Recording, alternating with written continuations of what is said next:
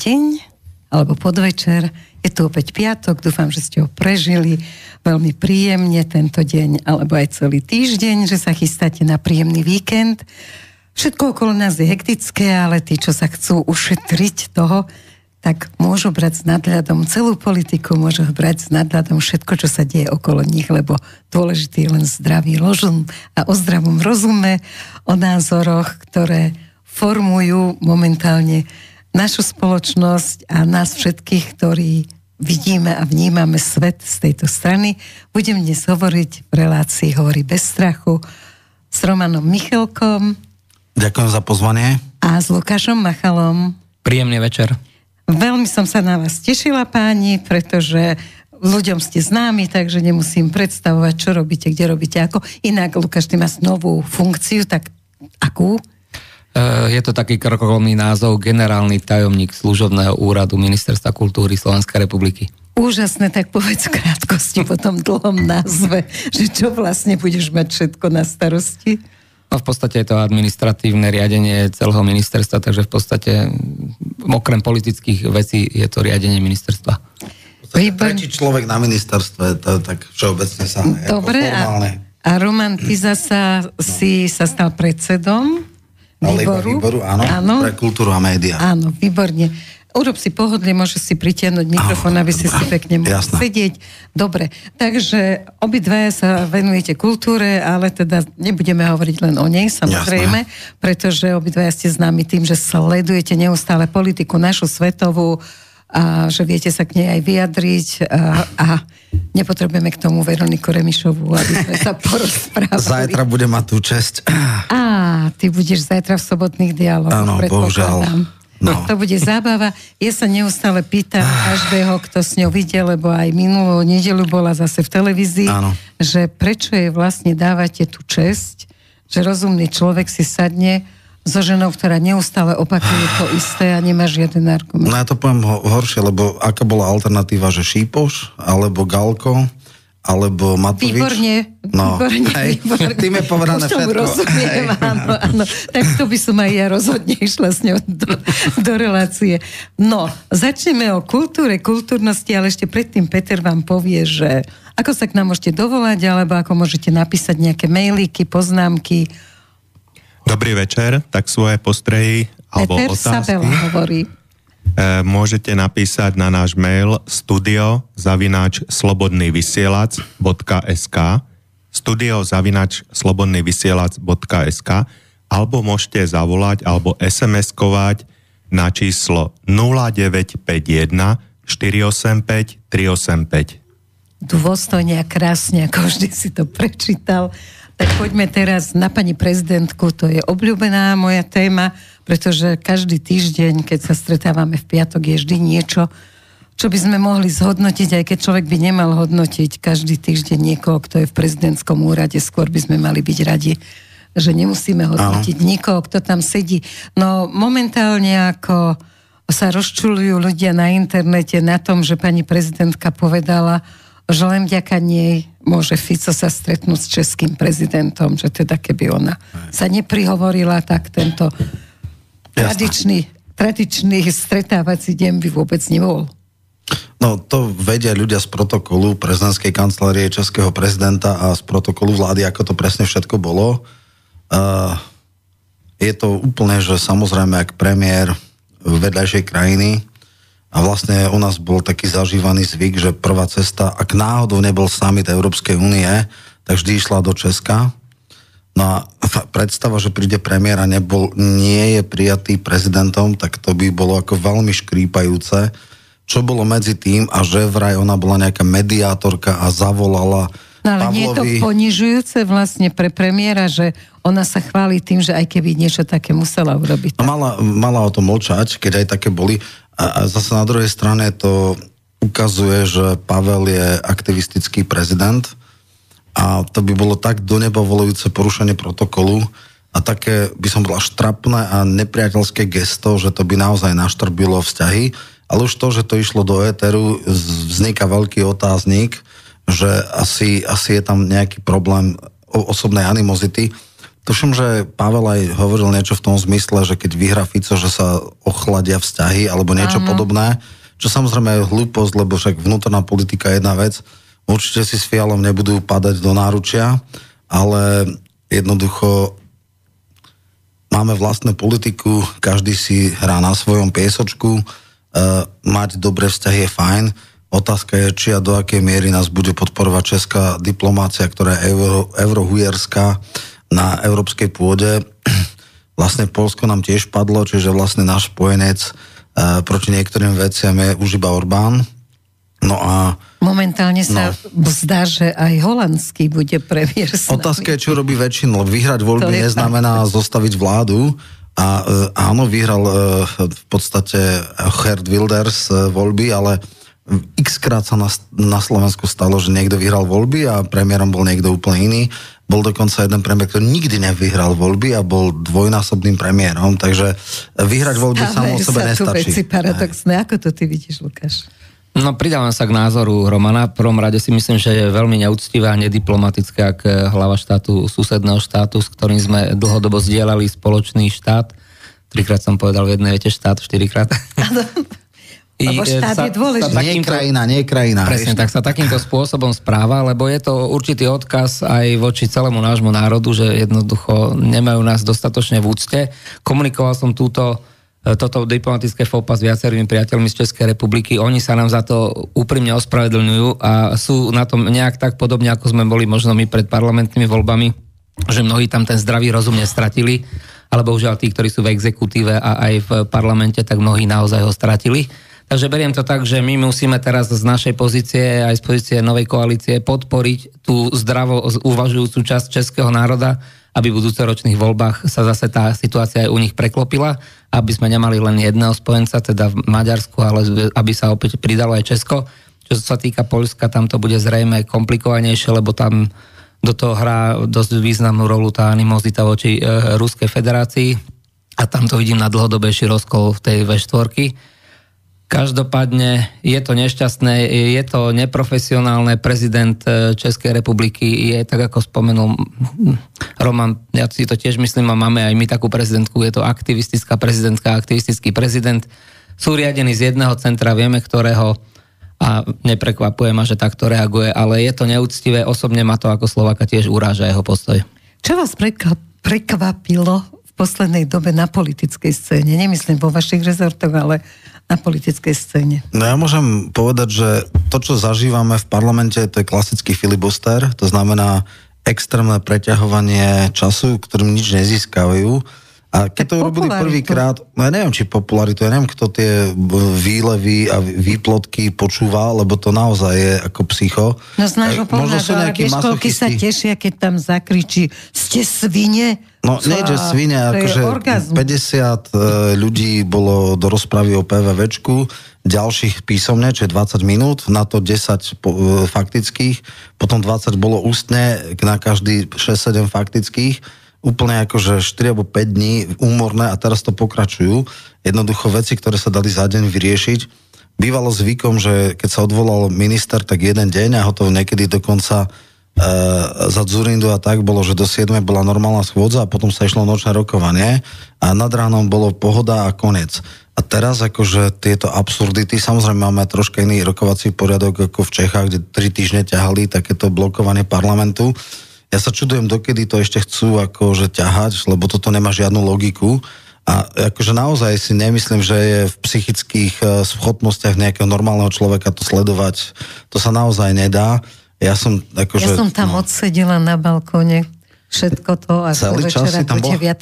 No to odchádzaš ako, že neveríš, že vôbec áno, existuje áno. svet ešte Stále okolo. to isté, opakuje sa, opakuje, do opakuje. Okola, to isté. rovnaké vety, čiže áno. musí to byť, tie argumenty musia by som byť povedal, nejakého... Ja by som to ešte chápal, keby to boli oľanáci, lebo ja ich nikdy Slovensko volať nebudem, Ale že na túto hru chytili sa aj progresívci, KDH, Saska, to ma troška prekvapuje. No a tak sa dostávam k médiám, čo je oblasť, v ktorej máte, lebo médiá ich začali vyzývať na to, že opozícia nič nerobíte, spamätajte sa, nespíte, ako keby dostali nejaké noty, lebo všetci hovoria stále to isté. Či tam vezmeš pani z KDH, poslankyňu, alebo či tam vezmeš poslanca, no teraz najnovšie tam bol ten poslanec ako z rómskej, teda nejakej No spoločnosti. myslím z Olano, hej? Ako, Áno, tam sú tam, ktorý tam bol. a, A on teda, Bužo. tuším, Marek sa volal, už som zabudla v tej spleti tých stoviek. A teraz akože on tam hovoril tak ako na úrovni základnej školy a potom asi štyria sa prihlásili, aby povedal, výborne, tvoje prvé vystúpenie, to bolo výborné, my sme ťa sledovali. Áno. Tak to už uráža človeka, že je v parlamente. Mala som pocit, že fakt som niekde mimo nejakej Ustanovizne, môžeš odísť ktorá- preč, lebo to nemá zmysel, lebo si také veľké sluchatka ostentatívne, ja rozmýšľam, že keď niektorí budú, tak si just dám, také na akože super, zbíjačku. nie také ako otík mal, ale tie úplne, že také, že mega, hej, a od, odhlučniť si to a počúvať možno nejakú inú hudbu, alebo čo, lebo toto naozaj nemá žiaden zmysel. No dobre, ale vysvetlite ľuďom, že aký to má zmysel pre nich, nejaký to musí mať, alebo dostali také noty a prečo ich dostali. Pretože každý vie, že napokon ten minister odvolaný nebude však ako tá Samozrejme. jednoduchá matematika. Čiže e, skús nejako vysvetliť jeden alebo druhý, že S Asi, asi? Erika, úprimne klobúk dolu, že si to vydržala počúvať. Roman, ty to máš čiastočne ako za trest, si myslím, tam sedieť teraz. E, Ja som veľmi rád, že tam momentálne nemusím sedieť a počúvať to, ako úprimne nezávidím nikomu, kto je príčetný a má zdravý rozum, že tam musí sedieť.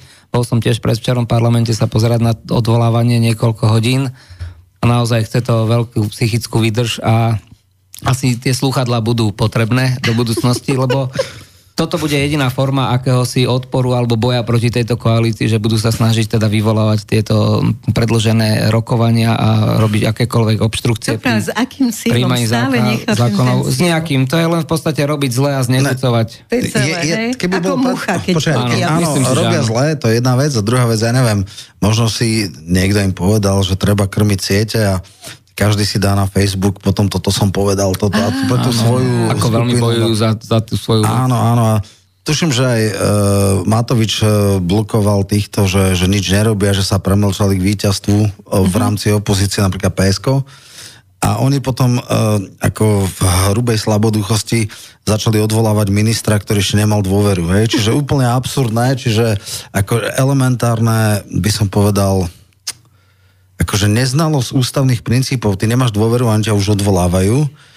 Stal sa akože taký úplne, že brutálny fajnšmekri si pamätajú jeden podobný precedens, už máme v dejinách slovenskej e, politiky, keď v roku, tuším, 98 e, neumožnili hlasovať e, Mečiarovi v tom okrsku, lebo boli zlé zoznamy, tak potom vlastne e, Moravčíková vláda dala demisiu, lebo vždycky musí dať po voľbách demisiu, to je ako z ústavy, obligatórne.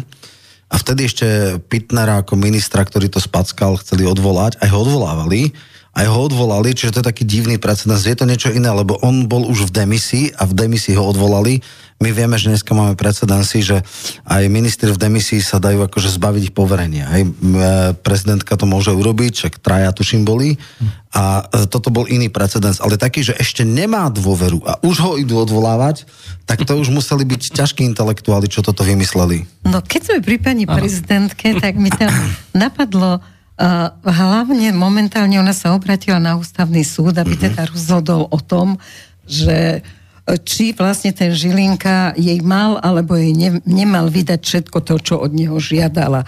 Tak, ty si právnik, tak skús takto, lebo ja, čo som obvolala právnikov, tak každý povedal, že sme v parlamentnej demokracii, takže nemala ona právo a že ústavný, a teraz na toto hlavne Áno, tak tam je, odpoveď, tam je rozpor v podstate dvoch ústavný- ústavných orgánov. Je to no. ústavný orgán prezident a v podstate generálny prokurátor je tiež e, priamo e, ako ústavný orgán, ako monokratický e, inštitucionálny orgán, takže nemyslím si, že ona v zmysle svojich ústavných kompetencií môže zasahovať do ústavných kompetencií generálneho prokurátora. Právne si poznamenala, že ak by niekto mu mohol vstupovať do kompetencií, tak by to muselo byť úpravou zákona, čiže musel by do toho vstúpiť pri- prioritne parlament. Pani prezidentka napriek tomu, že teda vyštudovala právo a tvári sa, že má a možno aj nejakú advokátsku licenciu, o ktorej mnohí pochybujeme, že ju má, robí tieto veci možno aj vie o tom, že sú právne nie celkom čisté, ale tiež ich robí na niekoho pokyn. A už chce zrejme dohrať tú svoju rolu tej poslušnej e, Sorošovej žiačky a študentky a jednoducho všetky noty, čo dostane a všetky e, skripta, čo dostane, tak e, do bodky si naštuduje a podľa toho ide a nechce nejako vybočiť. Aj napriek tomu, že vie, že mnohé z tých vecí sú právnicky neuchopiteľné alebo sú jednoducho napadnutelné. Pán Žilinka je skúsený právnik, myslím si, že ako generálny prokurátor nejak obzvlášť nevyčnieva, ale nerobí žiadne chyby a drží sa litery zákona a tú prokurátoru drží pomerne v normálnych intenciách výkonu v zmysle ústavy. Takže tam dám určite zapravdu kolegom, ktorí pochybujú o akejkoľvek kompetencii prezidentky zasahovať do týchto to je živá kauza, Dobre, to je to podstatné, je... vieš, že v podstate e, nemá čo, ona, e, ona nie je orgán OČTK a e, akože preverovať nejaké veci podľa mňa je veľký problém, ale však budeme čakať na Dobre. rozhodnutie ústavné. Chcem povedať ale jednu vec. Počkaj, ale niektorí no. právnici hovoria, že vlastne no. ústavný Súd, Súd no. nemá vôbec o tomto možnosť rokovať, lebo on má hovoriť len o tom, že čo je v súlade s ústavou. Nie, nie, nie, nie. aj spor ústavných tam orgánov rozrešuje. o tomto roz, rozhodovať. O tom môže, lebo tam, keď vzniká kompetenčný, ono, e, niektoré veci už robí najvyšší správny súd, ale toto je podľa mňa je zjavne toto je v kompetencii, súd, toto je na ústavný súd. A e, No uvidíme, ako ja som fakt zvedavý. Bohužiaľ, veľa judikátov ústavného súdu boli také, že 10-3, že boli tri dizentné stanoviska a 10 bolo za, čiže vieme, aké je zloženie. Paradoxné je, a to treba povedať, že všetci nominanti na ústavných sudcov vyšli v čase trojkoalície, teda 1920, áno, vybrala z nich, teda 1620, vybrala ich e, čiastočne Kiska a čiastočne e, Čaputová. Takže už tá nominácia bola problém a akože bolo to zúfalstvo, keď som videl ten nominačný proces, že pomaly 3 čtvrte roka sa tam dávali tí akože kandidáti a teda neboli to šťastné ruky.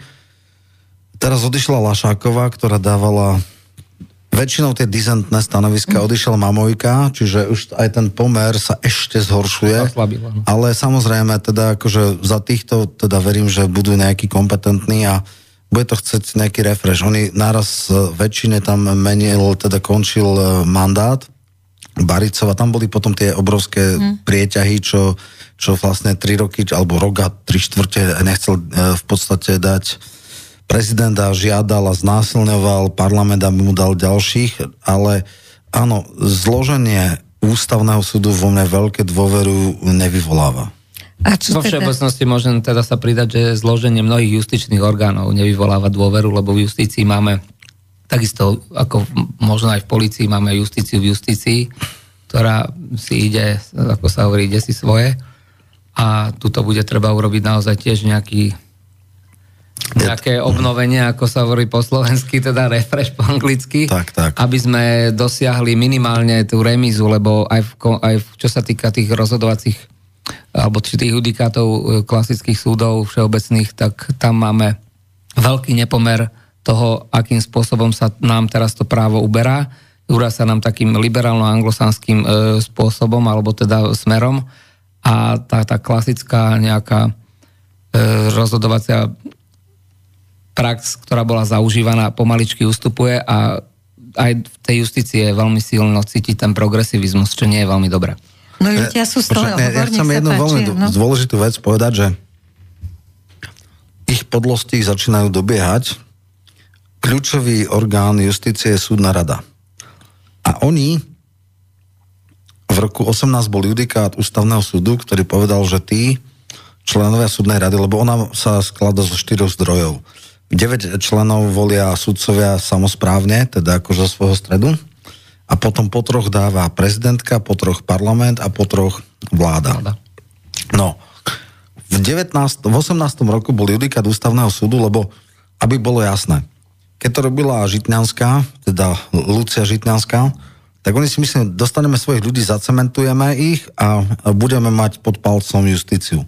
A stalo sa niečo, čo nečakali, že justičný, justičné prostredie vygenerovalo úplne iných ľudí, než dúfali. Aj dneska tí ľudia, ktorí sú súdnej rady za sudcov, tak to sú naozaj že ľudia, ktorí majú profesnú čest. Sú príčetní, áno. Akože dostal, keď bolo menovanie členom súdnej rady, tak bol extrémne, akože ťažko mu to bolo, ani im negratuloval, no úplne, že Bok mu išlo vytrhnúť. No a, a potom ale tí, ktorí boli menovaní parlamentom, alebo tí, ktorí boli menovaní e, vládou, tak mali judikát, že nemôže každá vláda ich len tak dať, ale že 5 rokov. No a potom prišla Kolíková a stalo sa niečo, čo nedokážem pochopiť, že normálne, že brutálnym nátlakom ich vykopla bez zákona. Oni mali judikát. Nechápem, čo sú to za právnici, čo takémuto nátlaku od, e, odolali. A potom si uvedomili, že robiť taký brutálny nátlak, že to nie, však máme 95 dajme to do ústavného Ústavy. zákona. Takže oni ústavným zákonom dali, že kedykoľvek môže týchto šiestich členov, alebo vlastne aj prezidentka, môže teraz bolo práve zmena, jedna z abdikovala z prezidentskej kvóty a teraz tam dá niekoho iného. Bez udania dôvodu. Ale dobre, keď niekto abdikuje z osobných Nie, dôvodov... ale že bez udania dôvodu áno, áno, to môže áno, urobiť. Áno, áno, to je to šialené. No, no počkaj, to dali oni. Áno. A teraz samozrejme traja e, členovia z vládu sa z, teda odvolali a teraz prídu ešte parlament. A chvíľu aj Mazak som čítal, a ja už sa vidím v Luxemburgu, bla bla bla, a teraz zrazu mu to vadí. Tú medicínu, ktorú oni robili, ono, keď oni ju majú e, ochutnať, už im nechutí. A teraz počúvam e, Javorčíkovu a kde koho tam e, vyplakáva. A že no môžu hoci kedy, ale musia byť nejaké dôvody, že nie bezdôvodne. A teraz ona bude rozhodovať, aké dôvody. To, že ona je hamba justície, to není dôvod, hej? Ale však v poriadku, no, tak nech vyplakávajú, ochutnávajú. U nás je také slovenské príslovie, kto mečom bojuje, mečom hynie. Dobre, ale, ale mutia vodu a naozaj... A Mazak, ako keby vieš, chceli úplne... obviniť vládu zo špinavosti za to, že urobila to, čo oni dali do zákona. Ale že predtým Fico bol proti tomu. No tak to je aký argument? No ale to no, sa teraz vo všeobecnosti si myslím obracia proti ním, lebo um, úprimne povedané nám to trošku nahráva. Ja teraz pracujem v štátnej správe, trošku otvorili ten zákon o štátnej službe a viac sme tým, že oni chceli robiť politické čistky, si neuvedomili, že mnohých ľudí možno ohrozia aj profesionálov v štátnej správe, lebo tá ochrana tých štátnych zamestnancov je trošku nižšia. A určite ich to dobehne na, aj čo sa týka iných e, nominácií, aj čo sa týka napríklad teraz e, si myslím, že v poslednej dobe okrem súdnej rady um, pán minister vnútra veľmi dobre zasah, zasahuje a pokiaľ viem, tak aj niektoré legislatívne procesy sa budú správať rovnakým režimom, ako sa správali za minulej vlády. Nie preto, že by sme to vyslovene, že chceli zneužívať, ale jednoducho, keď sa to tak zaužívalo a je to efektívnejšie, tak mnohé takéto veci sa zrejme budú využívať a potom tá opozícia darmo bude kričať, že veď vy to nemôžete robiť, keď oni to robili 3,5 roka. Ale oni teraz tvrdia, že no, oni kričať budú. to robiť. Oni kričať budú, to je jedno, oni nemajú seba reflexiu. Kričia. Oni no. kričia, že môžete to robiť, ale jemne. Nesmiete to robiť arogantne. Nie, uh, tak čo si myslíte o rozhodnutiach Matúša Šutaja no, Štoka? Ja ich absolútne stojím za tom, akože prvá základná vec, keď boli obvinení vyšetrovateľia Čurilovci, bolo fatálne zlyhanie Hamrana, že ich nepostavil proti služby. Tam totiž neexistuje výnimka. To bolo ostentatívne a drzé ignorovanie zákona. Druhá vec je, že treba sa pozrieť aj na kompetencie Ústavu pre ochranu oznamovateľov proti spoločenskej činnosti, lebo je absurdné, ak toto dostanú policajti. Ktorí majú ten zákon, ten zákon mal úplne iné parametre. Tí whistleblowery mali byť tak, že keď niekto na nejakom úrade robí cinknuté verejné obstarávania a je tam veľká vata a ja o tom viem, tak vtedy to môžem oznámiť som chránený a samozrejme normálne by bolo, keď sa to dokáže, že to nebola blbosť, tak ten šéf bude odvolaný a ten človek tam ostane. Ale nie je toto. To je úplný že nonsens. Takže podľa mňa bude treba aj precizovať zákon, ktorý presne vymedzí, lebo teraz sa extrémne účelovo dávajú veci a ďalšia vec je, že vlastne špeciálny prokurátor ako keby dáva ten návrh a oni si to osvoja. Pre mňa je ďalšia nepochopiteľná vec, lebo aby bolo jasné, netreba podľa mňa ani zmenu zákona o špeciálnom prokurátorovi. Treba sa pozrieť na previerku uh, Mat, uh, Lipšica. No dobre, na to každý čakal. No ja viem, a koľko Nič mesiacov. AMB, no to viem, to, ja neviem vysvetliť svojim ľuďom, akože mojim voličom alebo Presne. takým, že čo tam je. Však on bol volá, v kolosálnom konflikte záujmov. Samozrejme je možné, že sa jednoduchým zákonom, alebo špeciálna prokurátora je jednoduchý zákon, urobí ako nejaká sekcia na generálnej prokuratúre a bude priamo podriadená generálnemu prokurátorovi, ktorý v sekunde e, vyhodí ako špinavé prádlo Lipšica. No, ale všetci Ale čakali na to, že sa tá bezpečnostná prieverka prevarí, lebo by to nebolo len Presne o tak. Lipšicovi, ale by to bolo aj o MBU existuje dokonca, e, ale to je zase niečo iné, e, výbor na prešetrenie teda tých stiažností, keď niekto nedostane previerku, tak sa môže odvolať a tam sú vlastne, tam sa preverujú. Ja nedokážem pochopiť, čo tam robia. Človek s tak kolosálnym konfliktom záujmov, e, s extrémnymi prepojeniami na rôznych ľudí, v, výkone trestu pod dohľadom probačného úradníka sa stane špeciálnym prokurátorom. Účelovo sa menil zákon, aby neprokurátor mohol byť špeciálnym prokurátorom. Účelovo dostal previerku. Žiaden iný advokát nemohol dostať previerku a akože toronský, toronský taxikár Baránik povedal, no to je jeho šikovnosť. Akože úplne Škoda, že absurd- pán Baránik nie je tak šikovný v súdnych cynizmom, sporoch. no, on prehral, čo sa len dalo, akože ja žasnem, že ako, keď, no, dneska už keď gps už môže byť hocikto, ale v čase, keď on bol taxikár, jak on sa mohol v Toronte vyznať, čak to je nonsens. Možno malo len tri ulice vtedy. No, nie, malo viac, malo viac, nedokážem pochopiť. Alebo on mal na starosti Hej, hej, ulice, no. aby mu to uľahčili. No, ja napríklad, čo sa týka špeciálnej prokuratúry, keď Romana do, doplním, e, mám trošku iný názor, ja som úplne za totálne zrušenie špeciálnej prokuratúry, lebo je to absolútne redundantný orgán, ktorý komplikuje práve že prácu klasickej prokuratúry. Mám veľa známych aj priateľov v prokuratúre a oni vôbec nie sú nadšení týmto orgánom. Odliadnúť od toho, že títo vyvolení prokurátori majú naozaj e, nevydané výhody a funkčné požitky oproti ostatným a ich výkonnosť oproti klasickému prokurátorovi je možno 25 alebo 30 percentná. Jasne, ja, ja len krátku Dobre, poznámku ešte k tomu, lebo naozaj ja si pamätám debaty, keď sa e, tvorila alebo kreovala špeciálna prokuratúra. A vtedy v podstate bardi právnické alebo korifeji e, práva jasne hovorili, že to je nesystémový prvok v justícii, že takéto typy e, špeciálnej prokuratúry sú v štátoch, kde je terorizmus, napríklad ETA v Španielsku, alebo Brigade Rose v Taliansku, alebo mafia a tak ďalej. A že teda my to naozaj nepotrebujeme. Nehovoriac o tom, že však e, najprv na špeciálnom súde, lebo aj súd bol, mali obrovské skoky v platoch, že v podstate mali vyššie platy ako najvyšší súdom, pritom špeciálny súd mal úroveň krajského súdu, hej, ako druhostupňový. Prvostupňový, prvostupňový v podstate v, no, niektorých, V niektorých, veciach ale v niektorých druhostupňových. No, druhostupňových, hej. Čiže úplne, že a potom samozrejme boli aj tie žaloby, hej, ktoré vlastne diskriminačné dávali a dokonca aj bývalá ministerka Petrikova mala, čo ju potom kádrovali. To znamená, bol to nesystémový prvok úplne neadekvátny v našom spoločnosti, lebo my naozaj nemáme nejakú, e, nejaký teroristov alebo niečo také.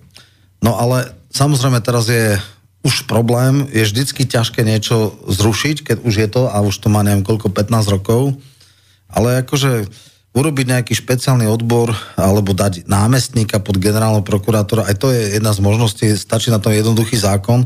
Ja očakávam, že to asi nezmení. Ja hovorím stále za ten ľud. Prečo sa s Lipšicom nič nerobí? Momentálne zvonka, keď to človek sleduje, Do, zavolaj tak sa si mu Suska zdá, a že jeho sa spýtaj, lebo to je jeho kompetencia. Je to jasné, samozrejme, že to skúsime urobiť, to je v poriadku, ale e, teda ešte ty si hovoril, že by si teda bol úplne za zrušenie. Ja si myslím, že Treba na ľud to- väčšinou chce asi zrušenie takých, čo má zdravý rozum, lebo to je absolútne zbytočný orgán, vôbec by sa ho nepričlenil k- ani k prokuratúre generálnej, ani nikde, jednoducho mal by sa zrušiť zo dňa na deň.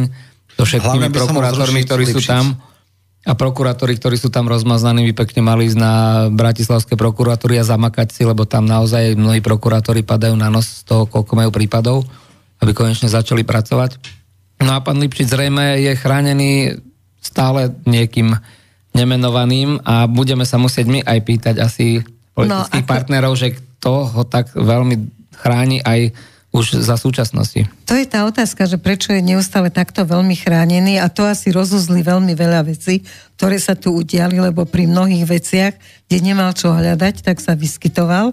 Momentálne zase to vyzerá, že opäť je chránený, čo teda je dosť poburujúce a on priniesol také prvky, e, ktoré skutočne, ako si ty povedal, že prišli z americkej justície, nie z tej, čo my máme rímsku, ale až potom, keď tam bol teda v tej Amerike, a vrátil sa s tým a teraz sa hovorilo o tom, že teda opozícia kričí, že áno, že oni chcú znížiť trestné sadzby za tieto všelijaké korupčné veci, že to je čo.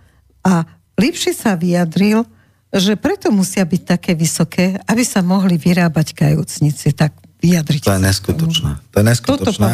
Ja chcem povedať, nie celkom, my nemáme precedenčné právo ako angloamerický systém, stále máme teda na rímskom práve. No. Sú niektoré prvky, čiže ako Len on vnáša právny systém sa nezmení, aj v ústave to máme inak zadefinované, ale čo sa týka tých vecí, je trestné kódexy, ktoré robil uh,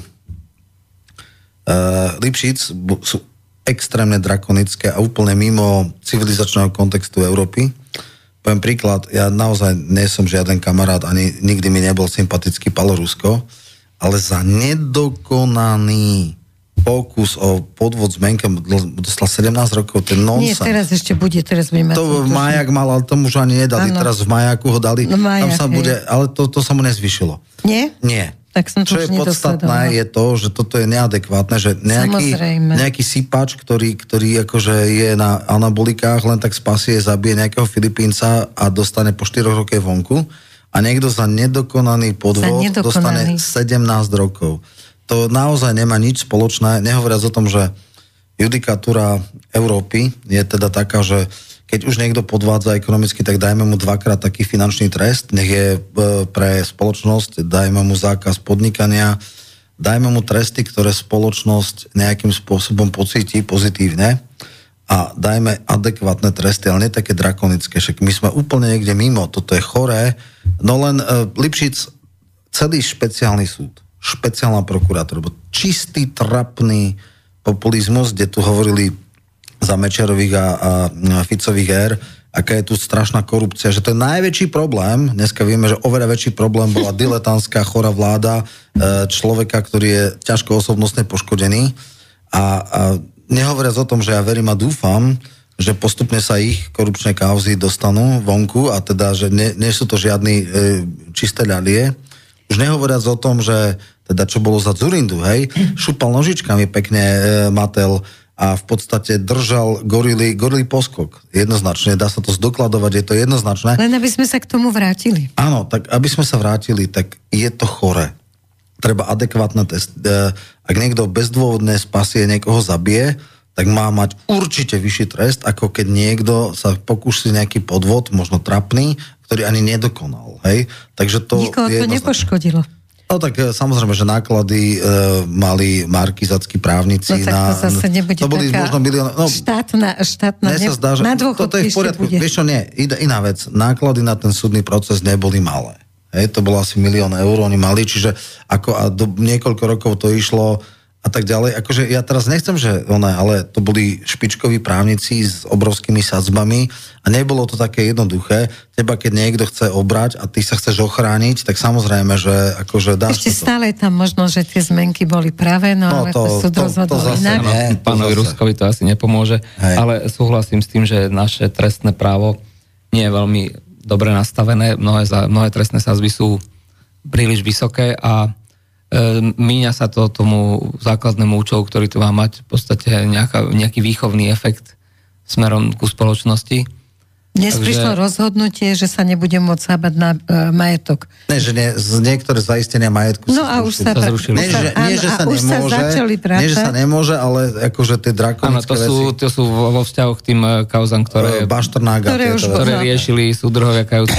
Áno, Slobodník a Baštrnága a podobný. Dobre, ale myslíte si, že niekto vráti zhabaný nábyt, e, nábytok, zhabané veci E, tomu človeku, ktorý tam varil z tej marihuanky tie mastičky na liečenie rakoviny?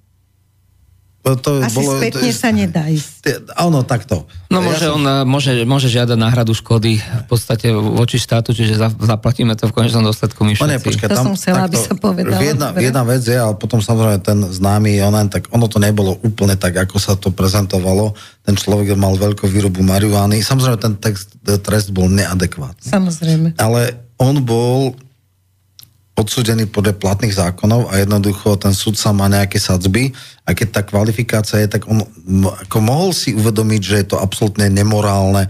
Tam boli aj viacerí sudcovia, ktorí hovorili, však jasné, že to je na hlavu, ale jednoducho ja mám nejaký zákon, ak je, ak je uh, odsudený, Jasne. tam sú maximálne, že mimoriadne zníženie sazby pri nejakých poľahčujúcich okolnostiach. Áno, tam nie je veľký priestor na manevrovanie pri tak. niektorých Dobre, veciach. Ale moja... Toto bude treba upraviť, vedie to je programom vyhlásení vlády, že vláda sa chce venovať e, vôbec trestným kódexom. Trestným, trestným kódexom aj, takže aj mocnoprávnemu, aj procesnoprávnemu, takže predpokladám, zákon. že aj trestný poriadok bude treba otvoriť, lebo tam sú tiež veci, ktoré e, poškodili mnohých ľudí počas týchto 3,5 roka a kvôli vlastne trestnému poriadku sedeli v tej base, nie kvôli trestnému zákonu. Takže obidva tie kódexy treba meniť. Výborne, takže to bude v najbližšej dobe. Vrátim sa k tej súdnej rade. Ako tam sme si všetko už vysvetlili, ale momentálne zasa plače opozícia, že pán Mazák teda ako... Ale bola som na stretnutí súdnej rady, kde už sami sudcovia hovorili o tom, že pán Mazák to nerobí tak, ako by mal. Preboha, to bolo od začiatku jasné to je, to je nonsens. Mazák je najväčší oportunista a, a hamba aj profesie. On z najprestižnejšieho právnického postu šéfa ústavného súdu išiel za Európs- advokáta, lebo to bolo európskeho advokáta, lebo to bolo finančne zaujímavejšie ešte na, hneď potom, keď si uvedomil ten kontext a nechcel byť úplne trapný, tak on hovoril, a dobre, ja však končím na súdnej rade, ja už sa vidím v Luxembursku, lebo tam mal nejaký flag. A je to úplne trapné, akože teraz zmena retoriky, ja nechápem, čo tým chce dosiahnuť, iba sa strapňuje. Niekedy je naozaj, že e, právny expert strany alebo nejakej tejto, to najväčšia profesná úrážka. Ešte najviac chcem povedať jednu vec, že bolo úplne absurdné, keď raz hovoril, že vlastne sudcovia ústavného súdu mali byť, akože nemali mať žiadne väzby na strany a podobne, alebo na politiku, tak povedzme si, kto to bol Mazák. To nebol, že radový člen strany. To nebol, že radový poslanec. Ale to bol prvý podpredseda SOP, čiže dvojka v koaličnej strane a z pozície stranickej dvojky a štátneho tajomníka na spravodlivosti išiel na šéfa ústavného súdu. A on bude kádrovať, že ale však ty si bol niekedy nejaký radový člen strany, alebo ono to je úplne absurdné. Ja len takú poznámku ma tak napadlo, že si nás predstavilo, že sme z kultúrnej oblasti a riešime justíciu ale a právo. právo. ale Lukáš takže... je právnik, tak aspoň Ale ako Roman, Roman odpoveda v podstate dobre, takže ja veľmi nechcem do toho vstupovať ja si pána Mazaka mám tak zaškatulkovaného, že v podstate karierista na peniaze, ďalej by som nepo, nepokračoval. A s extrémne flexibilným e, názorom, ktorý dokáže sa pretočiť na 180 stupňov, skrátka nemá milimeter tomu, čo sa hovorí profesná česť. Áno, veď karierista na peniaze, opakujem. No dobre, ale momentálne je to hrozne zložité. Čurilovci teda letia svetom, ako povieš, čurila každý vie, aj malé dieťa, už nemusíme vysvetľovať, o čo ide. Tak ale teraz sú ľudia opäť popletení. Jeden súd povedal, že nielen Čurilovci, teda tie rozhodnutia ministra vnútra. Jeden súd povedal, že sa majú vrátiť do práce. Teraz Čurila konkrétne, uh, sudkynia povedala, že nie, nie, nie, všetko je v poriadku. Je to tak, ako povedal minister vnútra. Ľudia si hovoria, o čo ide, ale čo je najhoršie, média, rovnako ako opozícia včera v parlamente, neustále opakujú, že to je už rozhodnutie súdu. Áno, tak prosím to je presne to, čo som spomínal. Nepravoplatné. To je ten, no, progresivizm, to, to, to, je ten hej, to je ten progresivistický štýl um, v justícii. V podstate e, to prvé rozhodnutie súdu je na miestne a vecne nepríslušnom súde, čiže to je v podstate od začiatku by som povedal, e, nezmysel, lebo podali to na zlý súd a zlý súd rozhodol, takže to rozhodnutie nemá žiadnu právnu relevanciu. To, že nám tu médiá bliakajú až kriekajú, to je v poriadku, veď oni sú za to platení od svojho mecenáša a to druhé rozhodnutie súdu už má hlavu a petu, takže v tomto určite pán minister Šutéš to e, nepochybil. V čom možno pochybil, že mohol to trošku lepšie na začiatku vysvetliť hneď, že ako to robí a prečo to robí, len zase beriem to tak, že on to marketingovo chcel rýchlo predať, že je tam a nová metla dobre metie, ale myslím si, že pokiaľ bude ministrom dlh, viac mesiacov, tak on sa to naučí a aj toto lepšie odkomunikuje. Je to tiež právnik, ja ešte chcem krátky dovetok k tomu. To, čo urobil ten nepríslušný sudca, to by sa naozaj mohol kvalifikovať ako ohýbanie práva, lebo to bolo nonsens.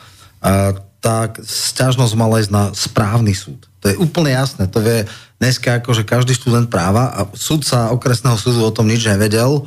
Jednoducho to, to bolo do neba volujúce akože babráctvo, ale Skôr si myslím, že to mali dohodnuté viac menej, lebo, ale ten sudca sa naozaj vystavuje teraz vážnym problémom, môže prísť o talár, lebo to bola veľmi vážna, veľmi vážna profesionálna chyba.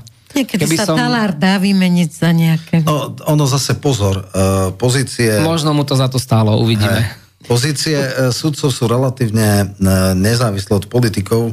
Najvyšší správny, súd, najvyšší správny súd má samozrejme disciplinárky a disciplinárky budú takéto pochybenia a ja si pamätám možno troch sudcov, ktorí boli vyzlečení z talára za fakt, že ťažké kauzy ako dosvedčené, čiže on to nie je také jednoduché.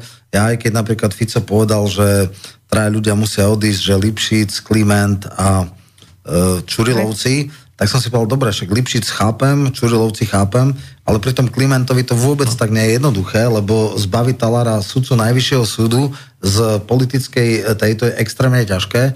Viem, že teraz má nejaký incident na parkovisku a toto bude riešiť disciplinárka, ale za toto mu dajú nejakú pokutu. Toto nebude sa. Za to dostane pokutu alebo niečo to odomná. No, ale ako to si, vidíš? Že... No, vidím to ako, že to bude len nejaká pokuta, to nebolo Nie, nemyslím na tú pokutu, ale na to, že... Talára že... Klimenta bude ťažké. To, to, na to sa Vyzlieť vo všeobecnosti, súhlasím s Romanom, že vo všeobecnosti vyzlieť súdcu Stalára je ťažké, na to naozaj musia byť vážne argumenty a vážne pochybenia a v konečnom dôsledku o tom rozhoduje samozpráva sudcovská. Takže oni, ono vlastne tá trojedino, alebo tá troj, to trojdelenie moci tu musí fungovať, že tá exekutívna moc ani legislatívna parlamentná nemôže 100% zasahovať do nezávislosti súdov, tak by to malo byť. Skôr si myslím, že ako v celej spoločnosti by sme sa mali najbližšie roky usilovať o obrodu myslenia a obrodu spoločnosti, pretože čo nás najviac kvári si myslíme je nedostatok morálky, nedostatok etiky a nedostatok odbornosti na všetkých stupňoch spoločnosti. A pokiaľ na tomto budeme pracovať, to sa teda týka aj práva, aj keď sme sa mali rozprávať o kultúre, ale, Ale týka sa to aj, chlapci, my týka sa to aj kultúry, času. týka sa to zdravotníctva, týka sa to športu, týka sa to, ja neviem, Jasná. všetkých, všetkých sfér spoločnosti. A na tomto musíme teraz pracovať, lebo naozaj spoločnosť je na veľmi nízkom bode uvedomenia si samého seba. Je to, tá morálka je fakt, že dole. Kultúrnosť je veľmi dole a na tomto sa treba Teraz a ešte k tomu aj hlúpneme. To no, však to, a ja ešte krátku, ale technikáliu, že vlastne disciplinárne senáty na Najvyššom správnom súde môžu vyzliť talára, ale tam je pri zmene pomerov v súdnej rade, a teda to bude podľa mňa otázka času, tak vlastne podanie na disciplinárku robí súdna rada. Takže tam vidím tak, že svetlo na konci tunela, mm-hmm. ale e, akože keby som si mal vsadiť na to, či Kliment bude vyzlečený z talára, tak to ako by som Asi bol skôr nie. Asi no. skôr no. Dobre, však ako to je najmenej, keď, keď toto neprejde, ale je kopa veci, ktoré treba aj v tom trestnom práve prekopať. A uh, ja si myslím, že niekto by sa mal pozrieť aj na uh, činnosť pani Kolikovej počas jej teda ministrovania, lebo momentálne vystupuje veľmi hrdo v tom parlamente, teda sa naozaj zdá, ako keby ona tu na urobila pre právo a spravodlivosť najviac, čo by mohla ale a týmto naražam na prípad Lučanského, mm-hmm. kde stále hovorí, že ale veď to vo väznici bol riaditeľom ten váš, ten váš človek, to ste si vy vybrali. Aký je to argument? No, Mária bola už, to v podstate moja spolužiačka, chodili sme do rovnakého kružku mm. dokonca, aj s Gaborom Galom, aj s ďalšími ministrami niektorými. Takže Máriu poznám už v podstate zo študentských čias nebola už ani vtedy veľmi obľúbená medzi nami študentami, lebo stále sa nejako stránila a bola najmudrejšia zo všetkých.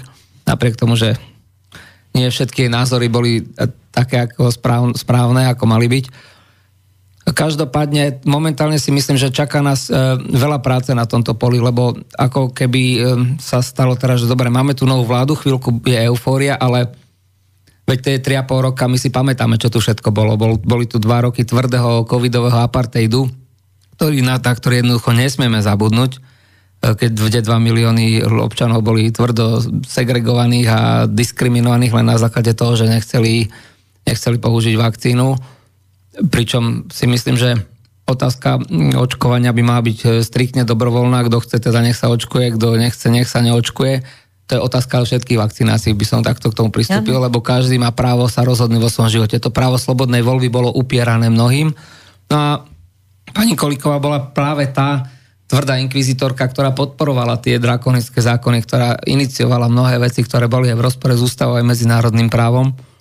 Osobne určite mnohí nezabúdame, veď e, ja som stále v styku aj s pánom doktorom Harabínom, aj s pánom doktorom Vajsom, aj ďalšími právnikmi, ktorí počas covidu bojovali tvrdo. Adrianu Krajníkov teraz prednedávno ešte aj zatkli, hej. Greta Noé tiež sa áno, snažila napísať Alebo Marica Pirošiková, ďalší sú tam, sú, tam, sú tam naozaj špičkoví ľudia, ktorí Ale... pracovali počas tohto obdobia a ja v tomto smere podporujem aj iniciatívu Peťa Kotlára, ktorý sa snaží nejakým spôsobom to inštitucionalizovať. Ono to už v tej vysokej politike nie je celkom také jednoduché, takže pokiaľ aj tu počúvajú nejakí fanúšikovia, aj teda jeho, alebo E, Martiny Šimkovičovej alebo TV Slovan alebo aj Romana alebo ďalších alternatívnych hlasov, tak treba povedať, že naozaj tá snaha o nejaké vyšetrenie nielen teda tých covidových vecí, o ktoré sa Peter snaží, ale celkovo tých vážnych porušení právneho poriadku Slovenskej republiky, to určite k tomu bude musieť prísť skôr či neskôr. Len je to tak, že tá vysoká politika si vyžaduje vysokú mieru aj kompromisov mm-hmm. a treba treba naozaj to dohodnúť na tej najvyššej úrovni medzi tromi stranami a tam už občas samozrejme to škrípe, takže možno bude dobre si naozaj stanoviť ciele, ktoré sú reálne a ktoré naozaj bude aj tá koalícia vedieť dotiahnuť do nejakého výťazného konca. A ten cieľ Tam, Petra Kotlára, no, že... No, to je tá vyšetrovacia komisia potom, no, ale ja by som to... chcel, nie že zmierniť očakávania, ale povedať niektoré veci, aké sú. Hmm. Oni boli extrémne zbabeli. Všetku špinavú robotu dali na jedného submisívneho úradníka, hlavného hygienika, ktorý pod zákonnými normami e, obmedzoval ústavné práva. Hej, úplne laicky vysvetlím, najvyššiu právnu silu majú ústavné zákony, alebo teda ústava, ústavné zákony, potom sú zákony a potom sú vyhlášky. Vyhlášky sú podzákonné normy. To znamená, špinavú robotu dali na jedného človeka, všetky tie niektoré divočiny boli buď uznesenia vlády, alebo prijatie kolektívnymi orgánmi, čiže zosobnenie osobné alebo politické, no politická zodpovednosť bola vyvodená vo voľbách, ale trestnoprávna zodpovednosť bude veľmi ťažko vyvodzovaná a už vôbec nie tým hlavným iniciátorom, pretože oni to nechali na jedného Mikasa, to, hej? Myslím, že Roman, tu ti trošku no, stúpim do no. reči, to nie je tak celkom pravda. Trestnoprávna zodpovednosť bude vyvodzovaná, môcť byť voči všetkým členom vlády, pretože sú príčetní, príčetní majú spôsobili na úkony. A pokiaľ hlasuješ uznesením vlády v rozpore so zákonami a s ústavou, tak si trestnoprávne zodpovedný a museli vedieť o tých dôsledkoch. Minimálne tí, ktorí iniciovali takéto hlasovania. Takže minimálne ministerka spravodlivosti, minimálne minister zdravotníctva, minimálne premiér, títo sú určite trestnoprávne zodpovední no, ale v plnom rozsahu. Uh-huh. Za no, dobre, počkaj, ale, ale keby napríklad, to, dobre, môžeme diskutovať, že uznesenia vlády, no. ale určite čo na všetky zákony, ktoré boli hrubo protiústavné, tam nie sú poslanci, lebo v ústave je jasná vec, že nikdy a za žiadnej okolnosti nemôže byť poslanec za akékoľvek hlasovanie to je iné, ale my hovoríme o tom, čo vláde, o vláde. Áno, a teraz poďme, ja teda osobne mám byť. očakávania, no. že keď sa pozrie tá trnavská firmička, ktorá kupovala vakcíny alebo kupovala teda tie testy a podobné a tie cinknuté obstarávania, tak toto podľa mňa, keď sa preverí, tak tam môže byť veľký problém a tam môže tie linky ísť až k Matovičovcom a toto si viem skôr, že ekonomicky, že po týchto veciach, ale čo sa týka bude extrémne ťažké uh, nájsť judikát, že oni v dobrej viere chceli chrániť zdravie občanov a teraz porušovali tak... ústavné práva. Inak takto. Cez peniaze, bežne, treba, treba si povedať, to pozrieť dobre, cez peniaze. Áno, že to budú kvôli týmto veciam. Akože uh, x krát sa stáva, je to politický cynizmus, že každý človek s elementárnou mierou príčetnosti vie, že niektorý typ zákona je, je s najväčšou pravdivosťou protiústavný. Lenže model je urobený tak, že ten aj protiústavný zákon funguje a je platný dovtedy, dokiaľ ho ústavný súd nezruší. Ústavný súd ho zruší, môže ho zrušiť, alebo tú časť zákona, ktorú zadefinuje ako protiústavnú, ale potom dá polročnú lehotu parlamentu, aby upravil v zmysle judikátu. Pokiaľ by to parlament ignoroval, tak po šiestich mesiacoch napadnuté časti zákona automaticky prestávajú platiť. Čiže je beztrestné a časté, že sa príjmajú ústavné zákony a ráta sa s tým, že dokiaľ bude judikát ústavného súdu, môže byť 2-3 roky. Niekedy aj dlhšie. No, hej? dobre. A je to beztrestné pre tých, ktorí aj dajú návrh toho zákona. Áno, ja viem, na čo Roman naráža, že je tam v podstate možnosť nejakej dôkaznej núdze vo vzťahu k tomu, že konali v dobrej viere. Ono ale zase sa dá argumentovať tým, že bolo tu 22 500 premarnených životov a keby sme ja som mnohé tie prípady študoval a mnohé mám naštudované a tam jednoznačne, lebo aj medzinárodný tým právnikov ide touto cestou, cestou cez smrť, hej, cez tú najvyššiu možnú teda e, bohužiaľ smutnú udalosť.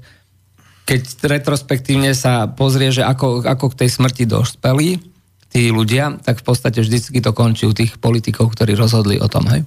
Je to, je to už forma vyššieho takého trestného, trestného práva a tam by bolo treba naozaj nejaký špecializovaný tribunál vytvoriť a naozaj niečo podobné ako bol norimerský proces alebo no. takto, takže to súhlasím, že to je pomerne komplikované a asi k takémuto asi možno až nedôjdeme.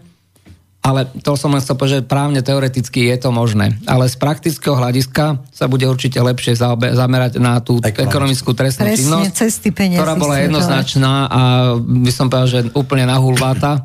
Takže tam, keď budú šikovní vyšetrovatelia a príčetní prokurátori, tak to musia veľmi rýchlo vyšetriť. Keď NKU si to zobere, lebo to je, a pôjde po tých verejných obstarávaniach alebo neobstarávaniach a tak a pôjde sa a dá si nejaké benchmarky a pozrie si, kde boli koneční užívateľia výhod a tak ďalej, e, vie možno, že zo pár ľuďom bude horúco. Dobre, ty dnes vystupuješ ako právnický expert a, a ja, ja som tu chcela proste ľudskú reč, áno, tak áno. ľudsky povedzte, dočkáme sa my voliči, ktorí nie sme v parlamente, Áno. dočkáme sa toho, že naozaj budú braní na zodpovednosť takí ľudia a menujem Kolíkova, Lenkvarsky, ktorý povedal, že bude robiť len to, čo mu prikáže Pfizer pre Boha živého, však za toto už vtedy ho mali zobrať. Takže Dajte odpoveď, dočkáme sa tomu, že títo ľudia budú braní. A Matovič ja, samozrejme. Ja, ja som známy tým, že, že nedávam neočak, teda nereálne očakávania a, a som zvyknutý, no, no vieš, tak môžem ti mazať brucho a hovoriť, že všetko bude v pohode a, a, a byť akože brutálny a pekný a za populista, ale ja som práve známy tým, že som pri zemi a že snažím sa reálne veci. Tak na koľko percent? Na koľko percent? Verím a dúfam, že e, dobehne karma Matoviča a že niektoré ekonomické veci, ktoré veľmi smrdia a máme silné indície, takže bude minimálne ťažko popoťahovaný a bol, bol, dal by Boh, aby bol aj trestnoprávne stíhaný a dokonca odsúdený a nie iba podmienečné. Možno bude ďalší kajúcnik. Tam by som pridal možno, že keď sme už sme tej, pri tej ekonomickej trestnej činnosti veď brat pani ministerky Kolíkovej má určité veci na rováši a aj pani ministerka ohľadom niektorých ekonomických e, vecí, ktoré sa ešte nie celkom dobre pre, prešetrili. Rovnako aj ministri zdravotníctva, či to už bol pán Krajči alebo pán Lengvarský.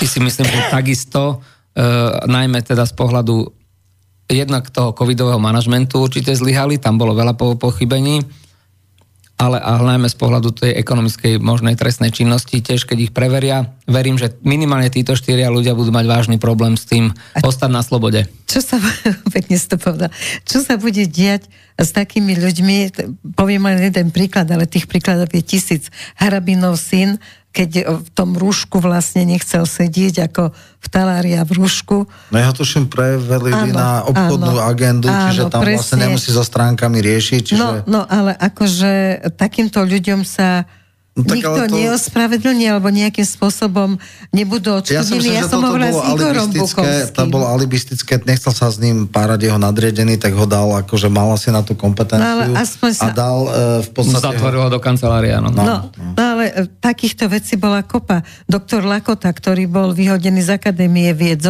Erika, 100% s tebou súhlasím. E, ja, ja Buchovský, tom, ktorému zničili život. Som rád, že to otváraš, lebo hovorím, ľudia majú krátku pamäť, niekedy majú krátšiu ako dažďovky. Mám taký pocit, že dažďovky majú žiadnu ale e, treba byť v tomto smere taký realistický. Máme tu totiž to dve také vážne línie. Jedna bol totálny s prepačením prúser, ktorý sme tu mali ako vládnutie pána Matoviča, pána Hegera a prípadne pána Lajoša Odora.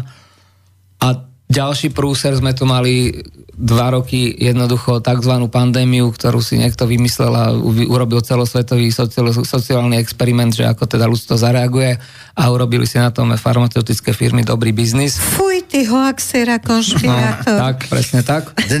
Ale či to, či to budeme teda stíhať dať dokopy my e, štát, ktorý a verejné financie celkovo štát a vzťahy, ktoré sú v rozvrate, a ešte následne ešte dostatok energie mať aj na to, aby sme to všetko poriadne vyšetrili a tých výnikov potrestali. Osobne si myslím, že by sa malo na to nájsť dostatok energie, pretože obidve veci sú rovnako dôležité.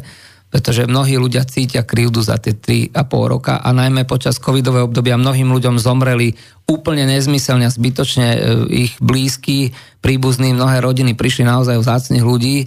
Aj my sme prišli ako Slováci o mnohých e, kvalitných ľudí len preto, že sa to nezvládlo a že niekto sa rozhodol, že si tu s nami bude robiť hokusy pokusy nie len už len politické, ale vyslovene už išlo o život. A ja sa obávam, že takýchto tzv. pandémií je pripravených a takýchto scenárov ešte viacej. Takže pokiaľ my toto dôsledne nevyšetríme a ako keby sa nepripravíme na ďalšiu vlnu podobných pokusov sociologických a sociálnych celosvetových, lebo Slovensko to nevie, sa tomu nevyhne, tak budeme o niekoľko rokov možno čeliť rovnakému scenáru, a podobne to dopadne, ale možno to dopadne ešte horšie pre nás, ktorí sme boli v podstate na tej strane, že sme bránili najmä to právo, hej, lebo Slobodné, slobodné Slob, rozhodnutie. Áno, slobodné rozhodnutie, lebo právo v podstate má byť o tom aj spravodlivosť. Má, má aj tie ľudské občanské práva. Ich základným motom je brániť slobodu človeka a jeho slobodné rozhodovanie sa, aby stále mal tú svoju vnútornú aj vonkajšiu autonómiu zachovanú. Existuje niečo v právnom systéme, čo má, má doduntiť alebo čo štátu dovoluje, aby rozhodoval za mňa. Stále som sa nad tým zamýšľala. Nie som právnik, takže mám ťa tu, tak sa ťa opýtam. Je to taký vágný pojem, alebo dva sú to, že verejné blaho a verejný záujem. Aj, aj, aj. A používali sa, je to v podstate... Francúzska revolúcia. Je to v podstate aj v tých zákonoch, ktoré spôsobili ten apartheid, že teda sa dodržiavalo nejaké verejné blaho a verejný záujem v tom zmysle, že aby sa nešírila nejaká nákazlivá smrteľná choroba len problém je v tom, že definovať verejné blaho a verejný záujem, sa, tá definícia nie je presná, nikomu sa to presne nepodarilo. Je to príliš široký pojem na to, aby sme ho mohli používať na obmedzovanie ľudských práv a občanských slobod.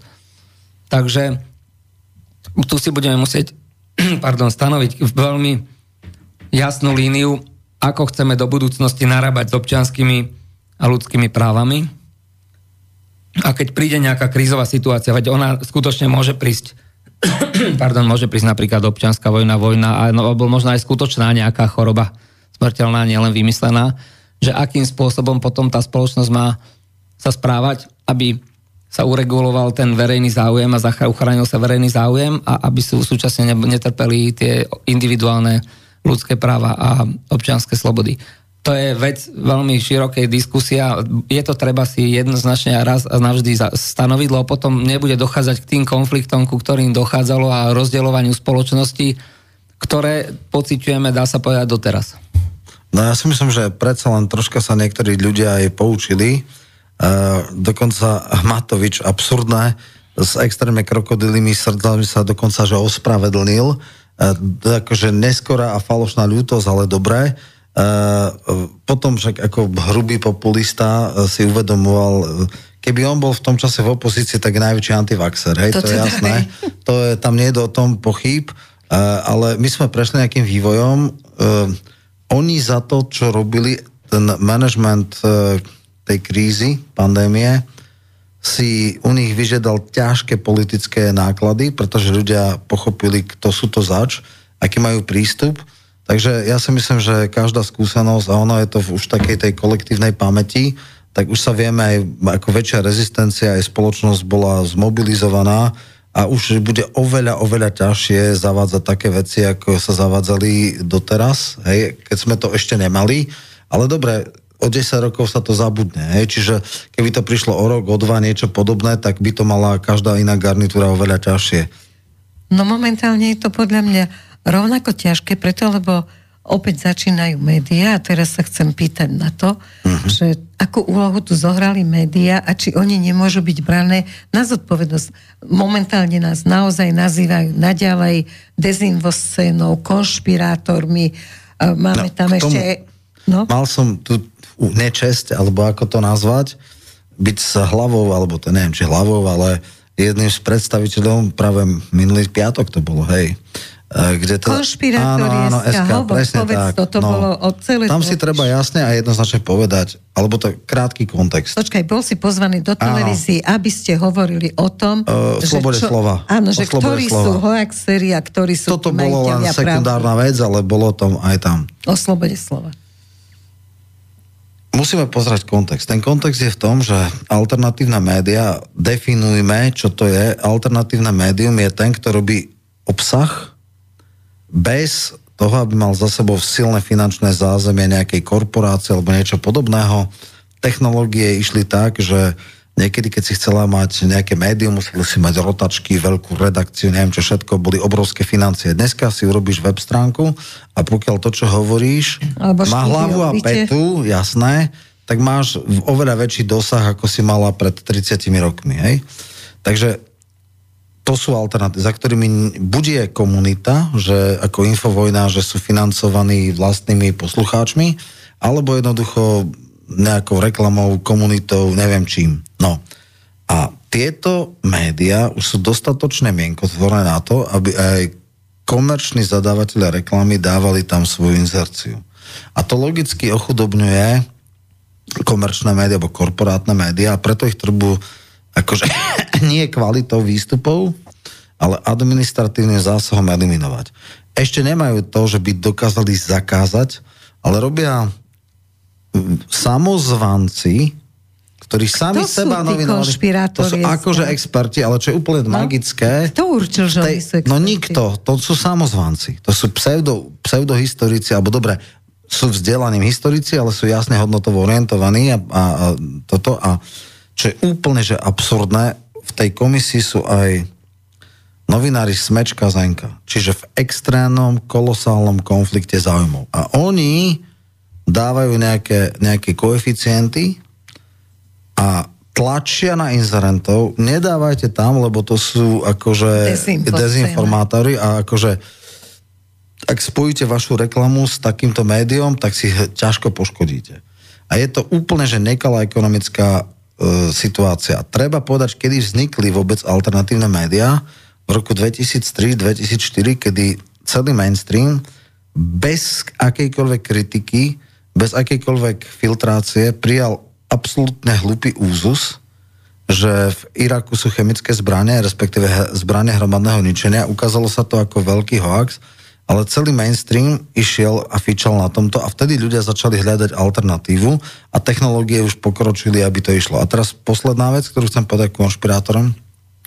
Dneska som dostal sms z ďalšej výročnej správy, ale kolegyňa, ktorá tam bola v tej relácii so mnou, tak našla na, vo verejných zdrojov, že teraz pozor, americká ambasáda, priamo americká ambasáda, ani nie cez nejakého Šoroša, ale priamo americká ambasáda, dala 50 tisíc dolárov na tejto, tejto občianskému združeniu, politickej mimovládke a súčasťou tej grantovej schémy bolo definovanie, na čo sa používajú tie prostriedky a bolo tam explicitne napísané na obhajobu národno-štátnych záujmov USA. To je vplyvová agentúra par excellence, to je úplne, že šité na fara, že neviem, kedy Susko príde. A teraz mi písal ďalší, že dobre, to je jeden rok 50 tisíc a druhý rok 60 tisíc. To znamená, že to není, že jednorázovka, ale to je, a ešte samozrejme, zrejme sú tam donory typu ESED a tak ďalej, však vlastne aj Trnkov syn má tiež taký podobný anan, čiže to je nejaká vplyvová agentúra, ktorá kádruje a krágľuje a m, v podstate médium, s ktorým som ja spolupracoval, som si tam pozrel, sa tam vyskytuje, pretože tam sme akože mali agentúrnu správu. Agentúrne správy sa nikdy neoverujú, lebo agentúra, ktorá ich púšťa, tak tá je garantom, že to je v pohode. pravdivé. Hej, čiže to je nonsens. To už je taký onen, ale dobre, zase pre niekoho hovoria perfektné, aspoň viem, ktoré médiá mám pozerať. Hej, takže, ale, ale je to aj tak drsosť Nie, je to, no neskutočná. a preto sa teraz... Najhoršie je to, že poznám ľudí z týchto médií, ktorí naozaj 10, 12, 14 rokov pracovali na tom a už mali aj inzerciu a mnohí im odskakujú nejakí automobiloví predajcovia alebo čo. Už tam boli dohoda, že tam bude nejaký veľký reklamný balík. Naraz začali svietiť na konšpirátorov ešte s nejakým silným koeficientom, lebo oni si povedali, áno, oni sú samozvanci. Je možno zlyhanie alternatívnych médií, že urobíme stránku antikonšpirátory v červených denníkoch No a toto som chcela povedať. áno, No a- my ich bíme do bezvedomia Áno. a dávajme Len kto nám im... to zaplatí? Presne tak, Lebo Erika. na 90% robíme toto má, všetci toto zadarmo, má Roman alebo dobrý za nápad, naozaj. ale súhlasím s tebou, že alternatívne médiá to sú v podstate ľudia s, so srdcom pre Slovensko a pre pravdu, ktorí to robia dlhé roky zadarmo a myslím, že nastal čas, aby sme my teraz e, trošku obrátili ten list, tak ako sa správa napríklad predseda Slovenskej národnej strany alebo predseda Smeru k určitým médiám. Úprimne pridávam sa k ním, takisto nebudem eh, komunikovať mm-hmm. počas tohto volebného obdobia červenými denníkmi, už som im to oficiálne oznámil, takže ani Markiza, ani denník N, ani SME, ani aktuality odo mňa nedostanú žiadnu informáciu. Opakujem teraz do Eteru, nie je to porušenie práva na poskytovanie informácií. Jednoducho tú informáciu, ktorú ministerstvo alebo ja ako štátny úradník mám poskytnúť verejnosti, poskytnem, akorát to nebude týmto médiám. A čo sa týka toho, Čo aby alternatívne médiá mali trošku, e, ako aby boli viacej, ale teraz to poviem trošku proti vám, aby ste boli viac systémové médiá, lebo už potom nebudete celkom alternatívne médiá. Áno. Už sa dostanete do toho klasického systému a budete ako keby druhá, druhá časť alebo druhý protipol médií hlavného prúdu. Bude treba upraviť určité zákony, určite to zákon o mediálnych službách, možno zákon o reklame, aby nejakým spôsobom sa nemohli vytvárať takéto e, tlaky, ako spomínal Roman, napríklad vývoj akejsi platformy Konšpirátory SK, ktorá si sama No ale čo určí, s tým že kto môže... urobiť? To sa dá jedne legislatívne upraviť, aby jednoducho takéto, takéto praktiky neboli možné v mediálnom priestore, lebo som- sú to nekalo súťažné, praktiky. počúvaj, e, treba mať dostatok guráže, urobiť No to musí fara, mať ministerstvo. ale spravodlivosti. Pozor. Áno, ale lebo musí dať lebo podnet ministerstvo kultúry. Fara a nejaká verzia zákonu Fara, ktorý politické mimovládky musí registrovať ako agentov iných síl a to je presne Áno, to, lebo doplním to je len, definícia. aby rozumeli, že čo je to fára, e, posluchači možno niektorí nevedia, to je americká verzia zákona o cudzích agentoch. Hej. A je aj v Maďarsku, čo je stred Európska, štát Európskej nie, aj nejaký v Rusku, čiže, čiže ako, e, dobre, Maďarsko je akože pária Európy, ale je to stále štát Európskej únie, čiže vieme sa pozrieť na, na to, ako je tam to zadefinované, tí ľudia sa musia registrovať, musia mať transparentné financovanie a musia byť pod dohľadom a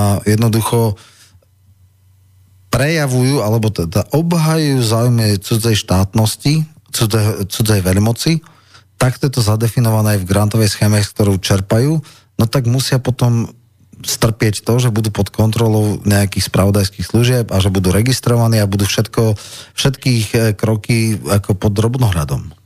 Áno, Dobre. súhlasím, e, čo sa týka, myslím si, že zástupcov Slovenskej národnej strany, e, či už sú teda členovia, alebo sú o, e, nezávislí na kandidátke, ktorí sa dostali do parlamentu. Tam je určite zhoda všetkých, že ten Foreign Agency uh, Registration Act, čiže FARA, uh, musí byť, Foreign Agent, pardon, Registration Act, musí platiť aj u nás. Pokiaľ nebude platiť, tak sa nikam nepohneme, pretože musíme si urobiť poriadok s tým, kto tu hájí záujmy Slovenskej republiky a kto tu hájí záujmy napríklad Spojených štátov, ale môže, za, môže zahájiť záujmy napríklad aj Ruskej federácie alebo Nemecka, alebo Francúzska, to je jedno. Jednoducho cudzieho štátu, aby sme vedeli, že kto za koho kope, obležme si dresy, aby sme vedeli a Presne. následne vám sa, vám sa uvoľní ten priestor, lebo my budeme vidieť, kto za koho kope a Tak. my zase za ministerstvo kultúry, ja nebudem hovoriť ako pán štátny tajomník na, novene v Trnave. Dobre, aby som nedostal nejaké, nejakú politické pokarhanie, ale môžem povedať, že budeme sa snažiť pracovať na tom, aby mediálny trh na Slovensku nebol deformovaný. My to máme aj v programom vyhlásení vlády. Jednoducho, aby bol spravodlivý pre všetky médiá a aby niektoré médiá nemohli sa dostávať do pozície nevýhodnej a niektoré naopak, že príliš výhodnej. A bude to troška priorita, pretože keď to bude na konci 4. roka, tak už medzi tým no ne, už ľudia zomrú na chudobu, tí, ktorí tu obdobia. Erika, môžem ťa ubezpečiť, že násadila vláda také tempo, že ja som, to som zvyk, si ja som zvyknutý pracovať akože veľmi vysokým tempom, ale pán premiér nasadil také tempo, že ešte dva mesiace a všetci dostaneme infarkt. Vy Ako naozaj pekelné tempo nasadil a ten plán legislatívny, legislatívny plán práce je nastavený tak, že všetky dôležité zákony, ktoré táto vláda chce dostať, budú musieť byť schválené budúci rok. Len aby, aby bolo jasné. No? Fara nebude v kompetencii kultúry, ale spravodlivosti. Spravodlivosti, Hej? samozrejme. Čiže tam naozaj toho Suska si už konečne pozvi a vyzvrtaj ho, nech teda Presne povie, tak, áno, oni musia sa vyjadriť. Tak. Hej, nielen, oni musia to legislatívne pripraviť, to je ich rezort, samozrejme. je to ich kompetencii, oni musia začať s prácami, oni musia naformátovať tak ale v rámci zákon... koalície sa bavíte zrejme o tomto všetkom. Áno, ale ja poviem, že ja osobne, ako teraz hovorím ako politolog, ne ako politik, ano. si myslím, že do prezidentských volieb sa takéto kontroverzné veci nebudú otvárať.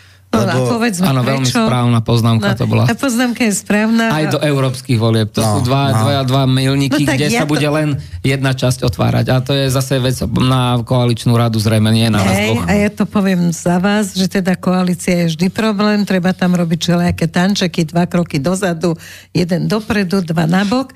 A celé, keďže hovoríme o voľbách do Európskej únie a parlamentu. Prez, do parlamentu a do prezidentskej voľby prezidentských volieb, tak je to o tom v prvom rade, že všetci chcú byť chutnočky. Tak. A takto to je. Hlavne tí... Um, ktorých sa to týka, samozrejme, kandidáti. kandidáti. My nechceme byť chutnočky, ale kandidáti potrebujú byť Aha, chutnočky. A preto sa mnohé veci zbrzdia. Ale ja dúfam, že... Erika, my môžeme teda, ja teda hovorím teraz možno za seba a za pani ministerku tiež, môžem si myslím, dovolím povedať, že my myslíme na tieto veci, veď e, dostala sa aj Martina do parlamentu kvôli tomu, že deklarovala určité veci a e, ako som s ňou v dennom kontakte, určite žiadne zo svojich názorov nezľavila z nich ani neupustila, ale musíme brať do úvahy, že situácia sa mení, keď je človek, e, dá sa povedať, že opozičný politik a keď e, hrá už vo farbách e, koalícia no, aj vo vládnych presne. pozíciách, je to o mnoho vyššia zodpovednosť. Ale to som chcel len v krátkosti povedať, že nebudeme my alibisti, určite nie. My tvrdo pracujeme, všetky zákony, ktoré sme slubovali ľuďom, aby tu poriadok bol, sa pripravia len je to samozrejme vždy vec eh, koaličných rozhovorov, politických rozhovorov a určitej stratégie a taktiky, že kedy a kde sa s vecami ide von. Takže Niekedy. Nebudeme zrejme deklarovať dopredu, že kedy čo bude, ale môžeme verejnosť ubezpečiť, že, že rozhodne na tom, na tom pracujeme. Trvať. Už na tom pracujeme, nie že budeme, už Výborné. na tom pracujeme. Výborné. Ja len chcem takú eh, vtipnú poznámku, že že keď eh, chceli voliči, aby teda v plnej miere a rýchlo to išlo, tak, e, Jedna strana mala mať 60%. A, nie, stačilo 44, no, ako mal 12-16. E, Fico uh, mal 7, 81, 83 poslancov. 83. 83 poslancov, čiže keby dali toľko hlasov SNS, žiaden problém. Vy... No veď budúce voľby to tak bude, hádam už. Výborne. No a pred voľbami zasa bude problém, lebo zasa každý bude chcieť teda tú svoju stranu troška pozbudiť, tak už pôjdete pomaly proti sebe, teda nie ešte nie, celkom. Takto, ja by som inak vec. Uh, no, ako strany v koalície, uh, ako aj politik, sa musia nejakým spôsobom vymedzovať aj voči sebe.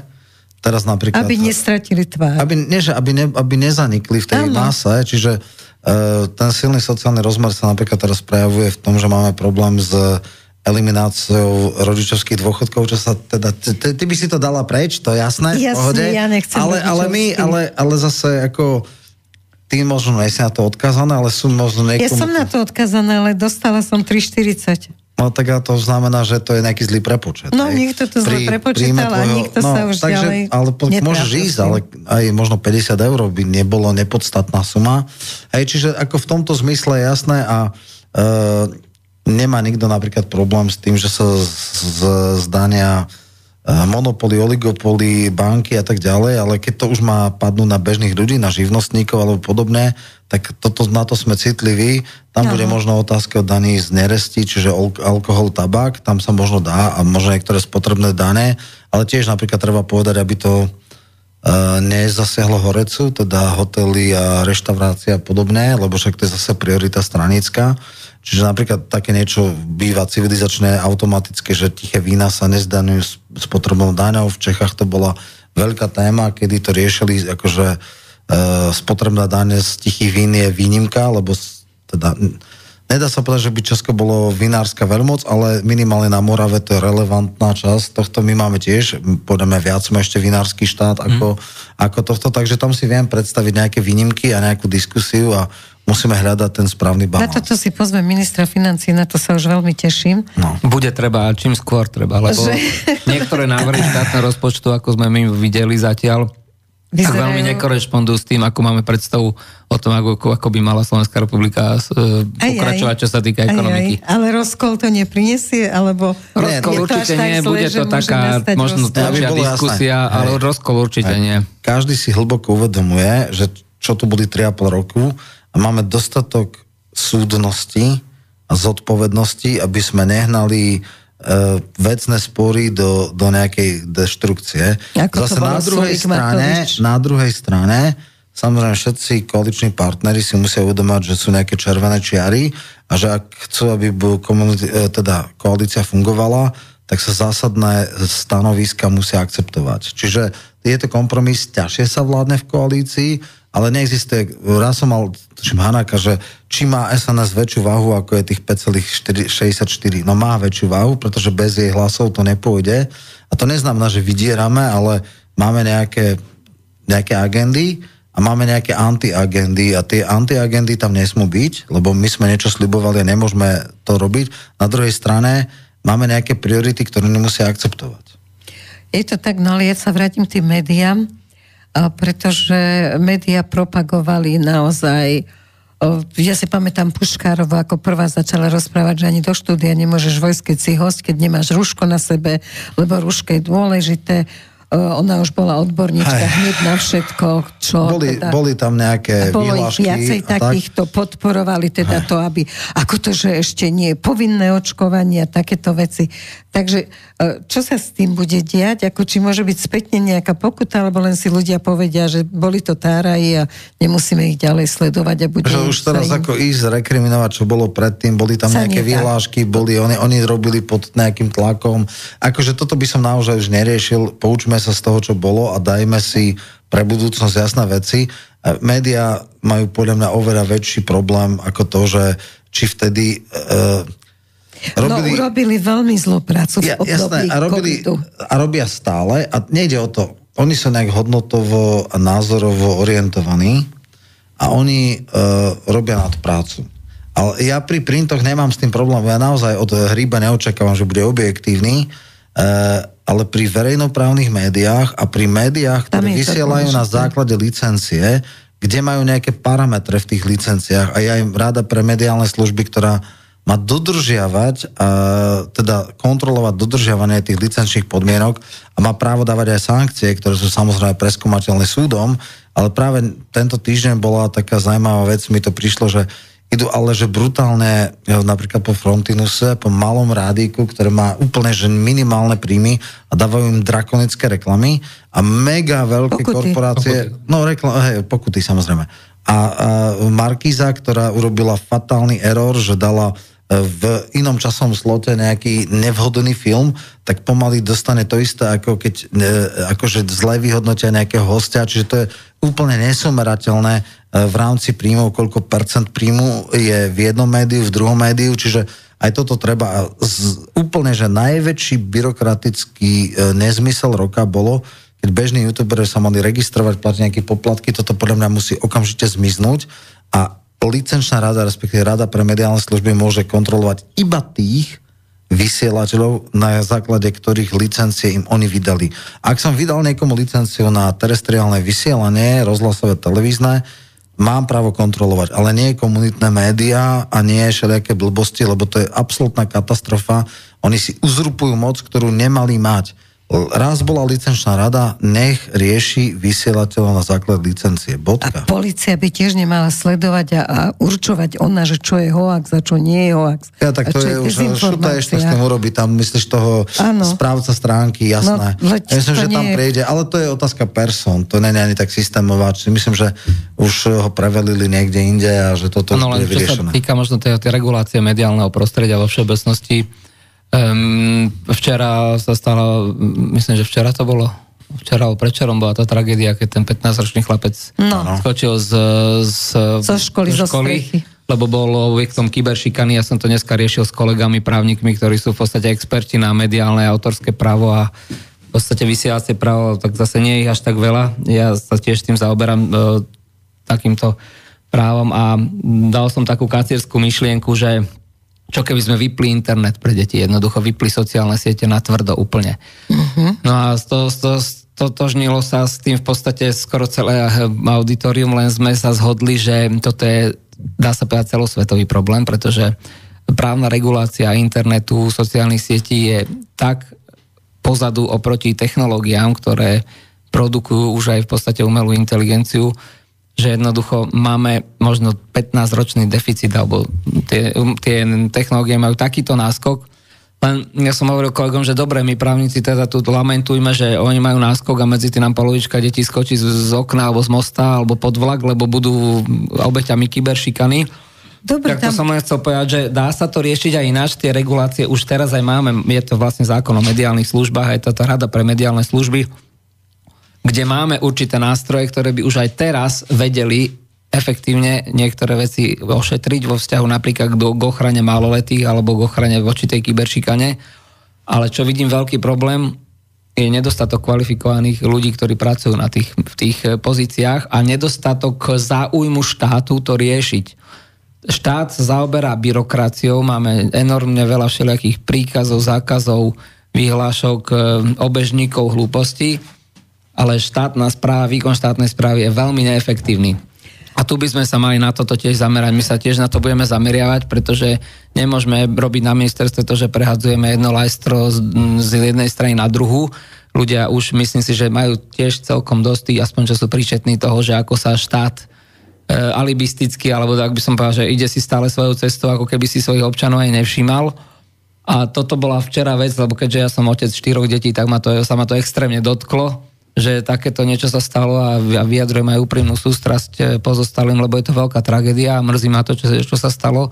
A môžem teda za nás povedať, že určite my urobíme všetko preto, aby deti neboli obeťami kyberšikany a aby sa čo najviac sa venovala problematike digitálnych služieb ako takých, lebo to sa, tomu sa absolútne nikto nevenuje a všet, celá mladá generácia je odchovávaná na digitálnych službách. Oni už nepozerajú televíziu, tam darmo my budeme robiť reguláciu médií, že televízia a Presne, rozhlas a neviem čo. Oni sú všetci na platformách, ktoré sú v mobiloch alebo na počítačoch, takže tam sa musíme sústrediť. To je veľká práca do budúcnosti. No, ja som toto rozoberala s vnukom, ako a tam tí dievčatá proste ešte kričali, keď už bol na streche, tak tie spolužiačky kričali, že skoč, skoč. Oni ho šikanovali celý čas za oblečenie, za to, čo hovoril, za všetko. A ja som sa pýtala vnuka, že teda uh, on je teraz na strednej, na začiatku a že či je na základke to mali takto. On povedal, v každej triede bola šikana na základke. Ale naša riaditeľka tak keď začala tými, čo šikanovali, si ich zavolala do kabinetu, tak pochopili, že to už nikdy neurobia, lebo bola prísna. Ale uh-huh. na druhej škole, lebo on prešiel z jednej školy na uh-huh. druhú, tak tam riaditeľka si zavolala rodičov a proste pohovorila s nimi. No a rodičia povedali, uh-huh. že to, čo sa deje v škole, tak to nie je ich problém, že vlastne ako tam si má dávať pozor uh-huh. učiteľ. Uh-huh. Takže ono to je naozaj o tých rodičoch, že lenže tí rodičia nemajú čas. Takže nejak sa to riešiť To musí. si myslím, že alibizmus. Lebo v Rodičia si musia... To, musia dneska, som, čas. dneska som počul veľmi dobrú diskusiu, neviem, kto to povedal, veľmi múdry človek, ale bol to nejaký kňaz slovenský, Mhm. a už asi aj viem, ktorý, ale nebudem ho menovať, povedal, že nechali sme si ukradnúť deti Áno. touto dobou a je to chyba rodičov. Ja ako rodič hovorím, že to je chyba rodičov, nikoho iného. Ako No lenže to vychovávajú bol zámer. Deti. Ale, Vezme- áno, bol Daj mi zámer, tvoje ale deti a ja tomu, že... okupujem tvoju krajinu. To je tá známa veta. No. Presne tak, ale toto musíme tiež zmeniť. Toto musíme 100% zmeniť. A musíme sa podstatne viacej venovať mladej generácii, ako sa venujeme. Tuto sme 30 rokov, ako by som povedal, kresťansko-národno-konzervatívna scéna totálne zlyhali. Absolútne sme tu zlyhali a musíme to, buď to obrátime a začneme sa venovať týmto smerom, lebo mňa nezaujímajú, teraz sa možno mnohí diváci urazia, mňa nezaujímajú už dôchodcovia, lebo to už je jednoducho, ako myslím v zmysle, v zmysle tom, že... že Ukázala som mu, že ho zbijem. Ne- nemyslel som to vzlom, ale budúcnosť národa sú deti a my všetci, čo sme Je starší, tak. tak vieme, že kde sú tie správne hodnoty, tak som to myslel. Je to tak, Ale jednoducho musíme sa začať venovať tým mladým, lebo potom tento štát nebude mať žiadnu budúcnosť do 20 rokov. 15 ročí.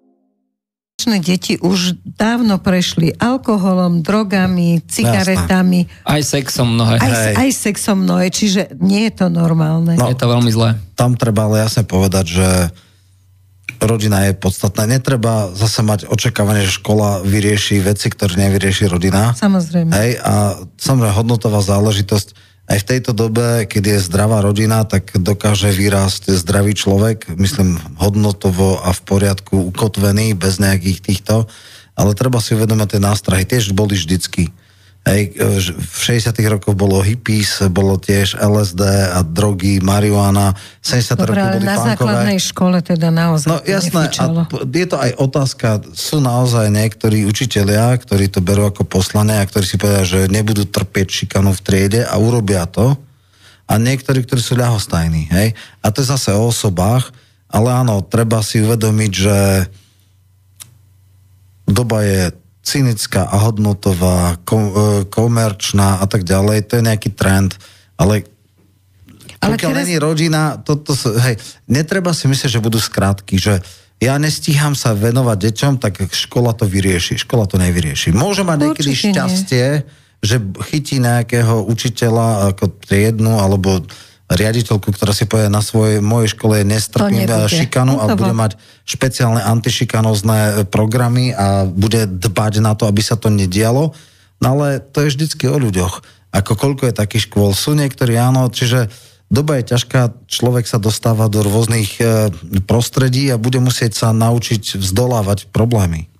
Ako riešiť to napríklad, že existuje stránka, teraz nechcem propagovať, tak nepoviem, kde vlastne sú mladí ľudia, deti, niekto to založil, kto tam dáva vraždy, samovraždy, hlavne samovraždy, akože poď na túto stránku a tu na ti budeme... Je to otrasné niečo. A normálne to existuje a tu to nevie niekto zrušiť? No, to je presne to, čo som už spomínal, že toto v rámci nejakej legislatívnej alebo právnej regulácie internetu ako celkovo je veľký problém, musí. keďže e, internet má celosvetový presah a my nevieme uregulovať e, niečo, čo je napríklad e, distribuované do našej, do našej, do našho teritoria z iných serverov, z iných štátov, že e, dá sa to čiastočne odfiltrovať, dá sa to čiastočne aj vypínať, je to veľmi technologicky, technicky, aj personálne, kapacitne náročné. Neviem, či je toto 100% aj, ale aj súčasne legislatívne možné v rámci európskeho práva. Takže zasa rodičia. A ešte, V prvom rade No, rodičia určite, ale bude treba, bude treba sa viacej zamerať na to, aby tie orgány, ktoré regulujú e, médiá a v podstate mali by regulovať aj digitálne služby, to hovorím, že to nám stále chýba, to musíme zriadiť, tak tam budeme musieť vytvoriť veľmi dobrý profesionálny tím odborníkov, ktorí budú musieť ísť z viacerých profesí, aby dokázali toto oni to 100% neustrážia, ale aby to dokázali aspoň trochu regulovať, lebo naozaj potom budeme mať vážny problém o niekoľko rokov už. Lebo Ešte, ško- počkaj, existuje niečo, čo sa volá, že Darknet. Tam si môžeš v podstate objednať aj vraždu, drogy, scéna, všetko hej. možné. Musíš mať nejaký človeka, ktorý tam pozve, ale to sa naozaj nedá uregulovať. Plus veci, napríklad, keď máš nejaký server, ktorý hostuje v Spojených štátoch, tam je prvý dodatok ústavy slobody slova tam môžeš čokoľvek e, dať a nikto ti to nemôže, lebo tam máš ústavná garancia, čo je jedna z mála vecí, ktoré, že obdivujem, ale je následovania hodná. Ale zase na druhej strane je možno niekedy aj dobré, že to nie je také jednoduché, lebo keď chceli odpaliť e, infovojnu, tak si dali beliskú doménu a títo trpáci boli tak hlúpi, že vlastne keď chcú e, druhá strana vypínať alebo regulovať cez IP adresu, vlastne nemohli to bloknúť. Čiže Jasne. ono je to dvojsečná zbraň. Zober si, že to bol jeden príšerný hanebný zákon, kde anonimná komisia na NBU e, blokovala a vypínala weby, ktoré budovali sa 5, 10, 12, 15 rokov bez rozhodnutia súdu, bez preskúmania súdom, bez vykonateľného a pravoplatného rozsudku súdu, čo je absolútne mimo európskej legislatívy. Toto sa deje na YouTube teraz. No ja to niečo iné, keď ti demonetizuje, keď ti bloknú napríklad, alebo Facebook, však No. môžeme riešiť. To sú medzinárodné alebo tr- transnacionálne platformy, ktoré majú e, v podstate vlastníkov alebo akcionárov v Spojených štátoch a e, je pre mňa tiež nepochopiteľné, že, že napríklad Blahu vypli, uh, hej, akože úplne mu dali definitívny ban na základe akých kritérií. Niekto tam akože loboval a samozrejme, ja mám Tam tiež... stačí udávač jeden. Tam napíše No dobre, to anonym. je že udávač, ale to musí byť preverený. Šramovou- Človek, ktorý mal 175 tisíc sledovateľov, No. čo je akože mega, No. akože len tak lusknutím prsta po, neviem, 5 rokoch budovania tejto, dobre, teraz má nejaký 38 na Telegrame, ale o to nejde. Tam ide o ten základný princíp, že jednoducho buď budú všeobecne akceptované kritéria, že ja neviem... Systém. Hej, a, a nie je takýto subjektívny. Samozrejme, asi je všeobecný konsenzus, že detská pornografia sa nesmie, alebo ja neviem čo. Oni sú v tomto, boli tie platformy veľmi citlivé, že žiaden sexuálny obsah a podobné záležitosti. V čase covidu, keď si dal čokoľvek o covide, tak ťa blokli alebo dali ti ban, hej. Takže akože dobre, aspoň sa vie, že ak, zadefinujú ti parametre, že ako sa má správať, aké sú limity a ty funguješ. Ale toto napríklad bolo úplne mimo akýchkoľvek pravidel. Áno, nezadefinuje. Teraz Miro Kamenský mal u nás na tom No. uh, online tu a teraz uh, zrazu mu to Blokli? zasta- blokli ho, ako mal tam 50 tisíc a Áno. uh, blokli ho. Mimi napísala, Videný. že prečo a oni, že pre sex a násilie. Takže nech nám ukážu, kde je tam... Nič tam nebol, že to bol rozhovor so mnou Jasné. o právnom štáte, Boh vie, rozumieš? čo si od nich Tak to zase vieš. zapli. Si mala nejaké podprahové... Presne, tieto. ono tam niečo, niečo si vymyslia a zapnú Áno. a momentálne... Možno ste znásilňovali právny štát, nie? Áno, ohýbali sme právo. Áno. No ale teraz e, zase smečko, ktoré ty si Áno. hovoril, že sú tam, ktorí chcú rozhodovať o tom, čo je Áno. hoax a čo je nie, tak ich profesionalita teraz na chvíľu mojej malej osôbke, Áno. ako Hanzelová, tam má rozhovor... Bakalárka, no. Áno, tam má rozhovor s Kordom, Áno. známym to alkoholikom. A- tak, tak. A rozhovor začína, že Vincovreková milovala Mečiara a ona teda bola v tej relácii, keď sa Mečiar lúčil a plakal tam a kýval. Čo nie je pravda? A Korda jej hovorí, že Hanna to Pravdová. nebola, to nebola ona, to bola tá druhá. Hanna Pravdová. Áno, to bola tá druhá. Vieš, ale ona mala, ona bola síce šéfka publicistiky Markize, ale ona tam mala aj erotickú reláciu. V živote som nemala žiadnu Mhm, erotickú reláciu. Čiže toto je ich odbornosť. Tak ja Áno. keby som ťa chcela ohovoriť, tak budem vedieť o tebe všetko, ešte aj číslo jasné. tvojich nohavičiek a potom do toho pôjdem. Ale oni ani si na to nenajdu, Nie, aby no to nie. povedali. A za takéto, a teraz mali by sme sa súdiť neustále. No to je- Aký to má význam? Takže sa, uh, aspoň by za takéto padajú- veci nemali byť nikde, v žiadnom rozhodovacom orgáne. Smečko, keď sa Počkaj, ešte raz, to správa. nie je rozhod, to je samozvanci. Ešte No raz, tak samozvanci ale s rozhodujú. kolosálnym konfliktom záujmov. Presne. Nemôže jedno médium hodnotiť druhé, ktoré je konkurenčné na trhu. Samozrejme, že to nie je žiadna inštitúcia. Niekedy sa hovorí, že etická rada, že syndikát novinárov Áno. urobia, ale nikdy sa, a že tam bude nejaký mix, eh, ja neviem, že vydavatelia tlače a tak, nikdy sa konsenzuálny orgán neurobil a už vôbec nie je zo zákona, ktorý bol nejakú ako legitimitu. Čiže oni len robia, to je v podstate lobistická skupina vplyvová nátlaková, ktorý akože dáva informácie zadavateľom reklamy, fuj, fuj, do týchto nedáte, lebo to sú takí onakí špinaví. Dobre, a prečo sa nedokáže zjednotiť aj to, že zväz novinárov, ako ten, ten starý, pôvodný, také. Lebo syndikát je iba, syndikát, áno, potom je asociácia áno. novinárov a potom no a, sú. A nie sú, no. daní na, nie sú daní na jednu úroveň. Keď no nie, preukaz... tak sú tri, to máš plno no, profesných organizácií. No, spisovateľe majú tiež plno. Áno, ale keď, keď aj spisovateľe majú plno, ale no. má to byť na jednej úrovni. Keď ja budem mať preukaz, to je jedno zo syndikátu, tak to nie je predsa viac, nie je, ako to keď mám z asoci- združené ako, ako záhradníci, není zákon No ale oni to od teba žiadajú na mnohých to. miestach, že no ideš Redakcie a... ti dajú, že redakcia by ti mala dať preukaz novinársky. A ten ale... už je úplne, ten už Hej, je no úplne no nepoužívať, nepoužiteľný. Prečo nie? Na akreditáciu do parlamentu by ťa mali akreditovať. Však tam asi Uvidíme, chodíš. máme, áno, tak... No, jasné. Dobre, Dobre nebudeme ne, rozoberať. Vec, e, e, no. V podstate e, objektívne kritéria by mali byť zadefinované a áno, dá sa aj nejaká legislatívna na nejakú etickú reguláciu, ale ťažko nájdeš parametre a musí to byť legitimita. Akože sú rády, ktoré sú pri elektronických médiách, je to jasné. Hej, tam sú rády, tam je to regulované. Čo to telefónom?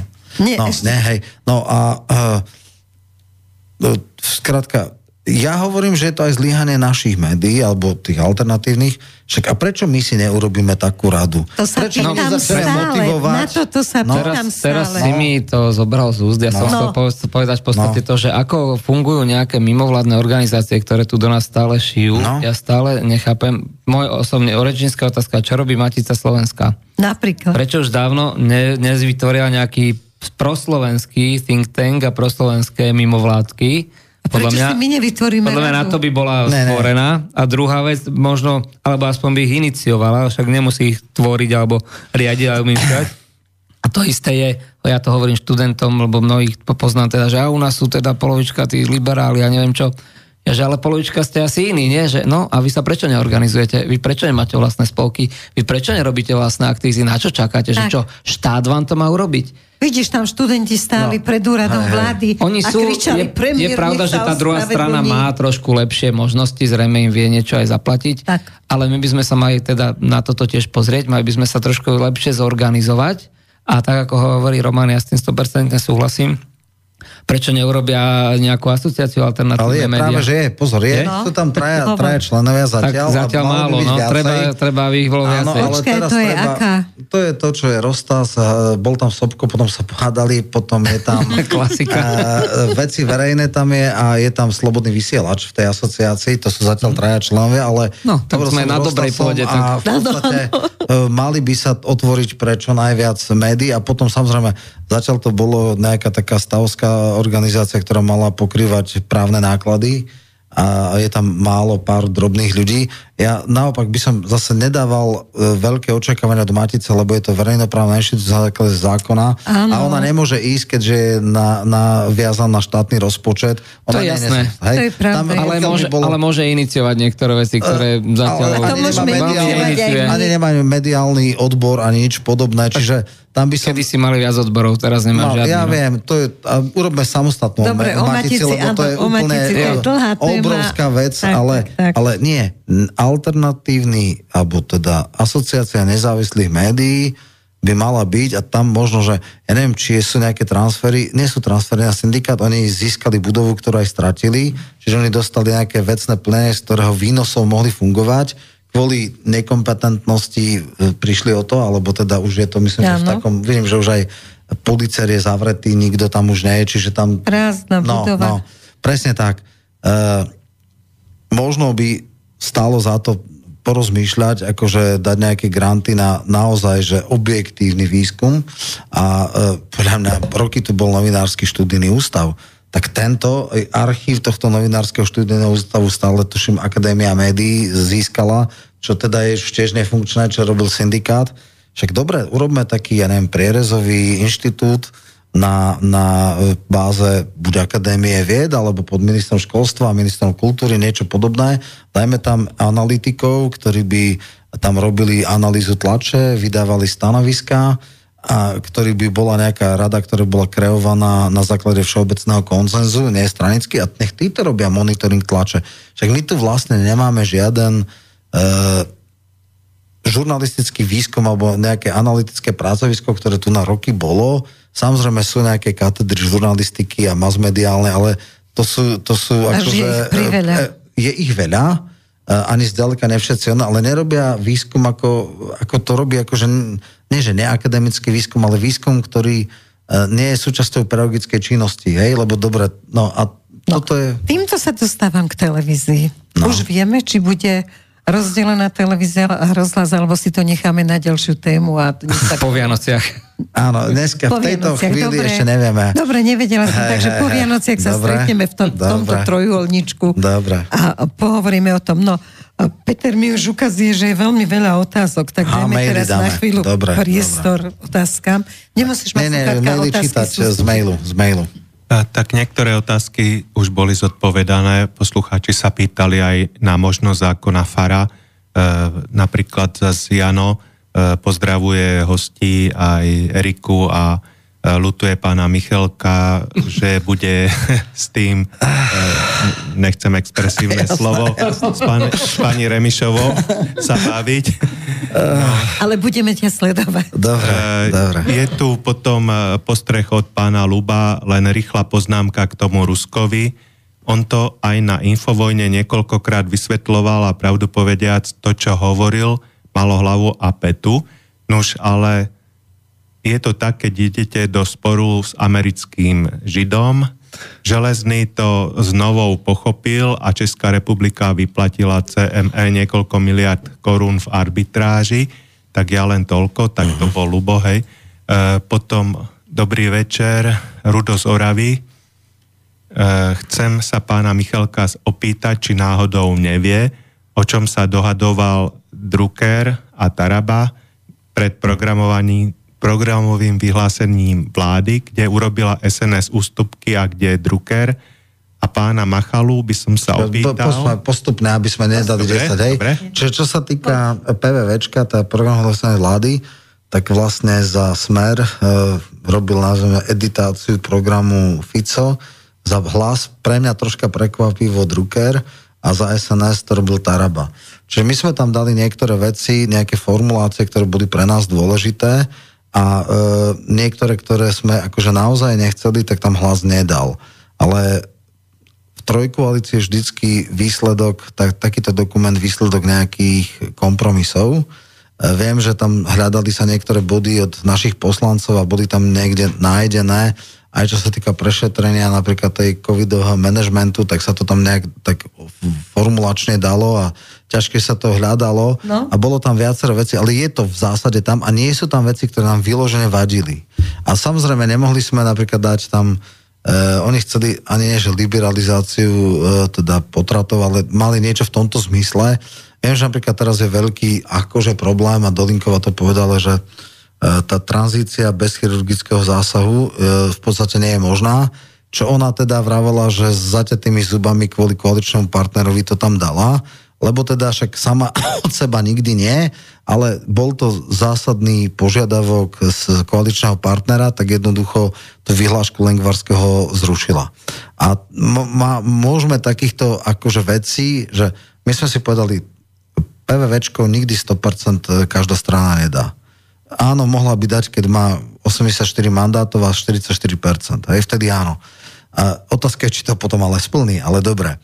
A teraz e, prvá vec bola, že toto v žiadnom prípade tam nesmie byť a to boli červené čiary a tam nie je nič také, čo by sme že ťažko nemuseli.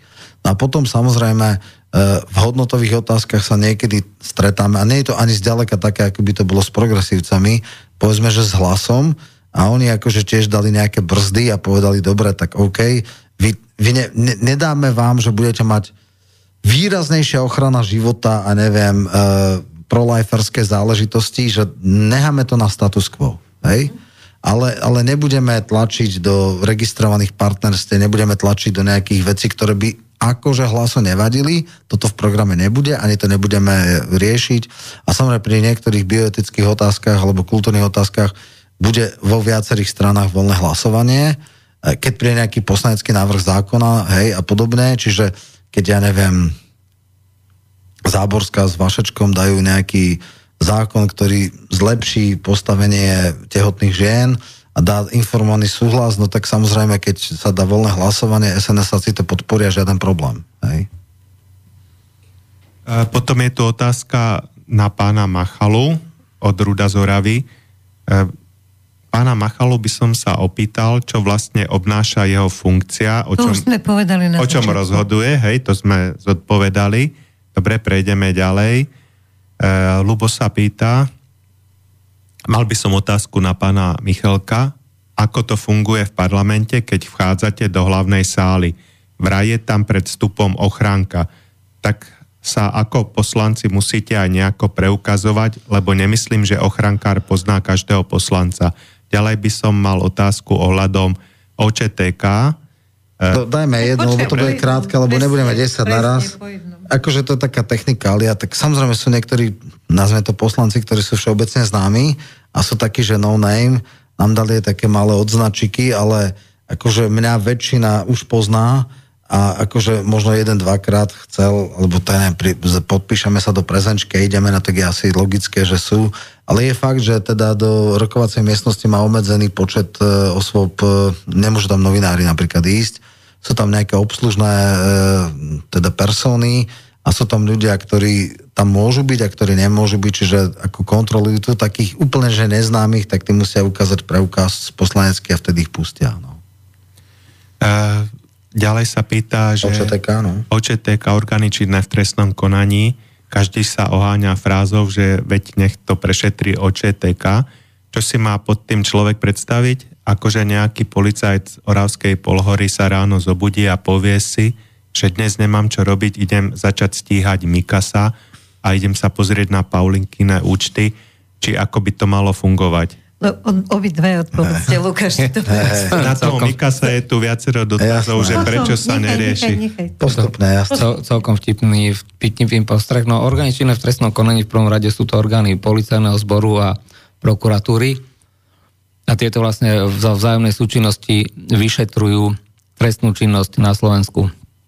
Tieto orgány sú špecializované, v rámci policajného zboru máme vyšetrovateľov, kriminalistov, kriminalisticko-expertízny ústav, Národnú kriminálnu agentúru, finančnú policiu a tak ďalej. A potom máme v rámci prokuratúry špecialistov, ktorí sa špecializujú na civilné veci a na trestné veci a teda v rámci trestnej činnosti, teda na násilnú trestnú činnosť, ekonomickú trestnú činnosť a potom trestnú činnosť, ktorá sa ktorá je spojená s, s rodinou a životom.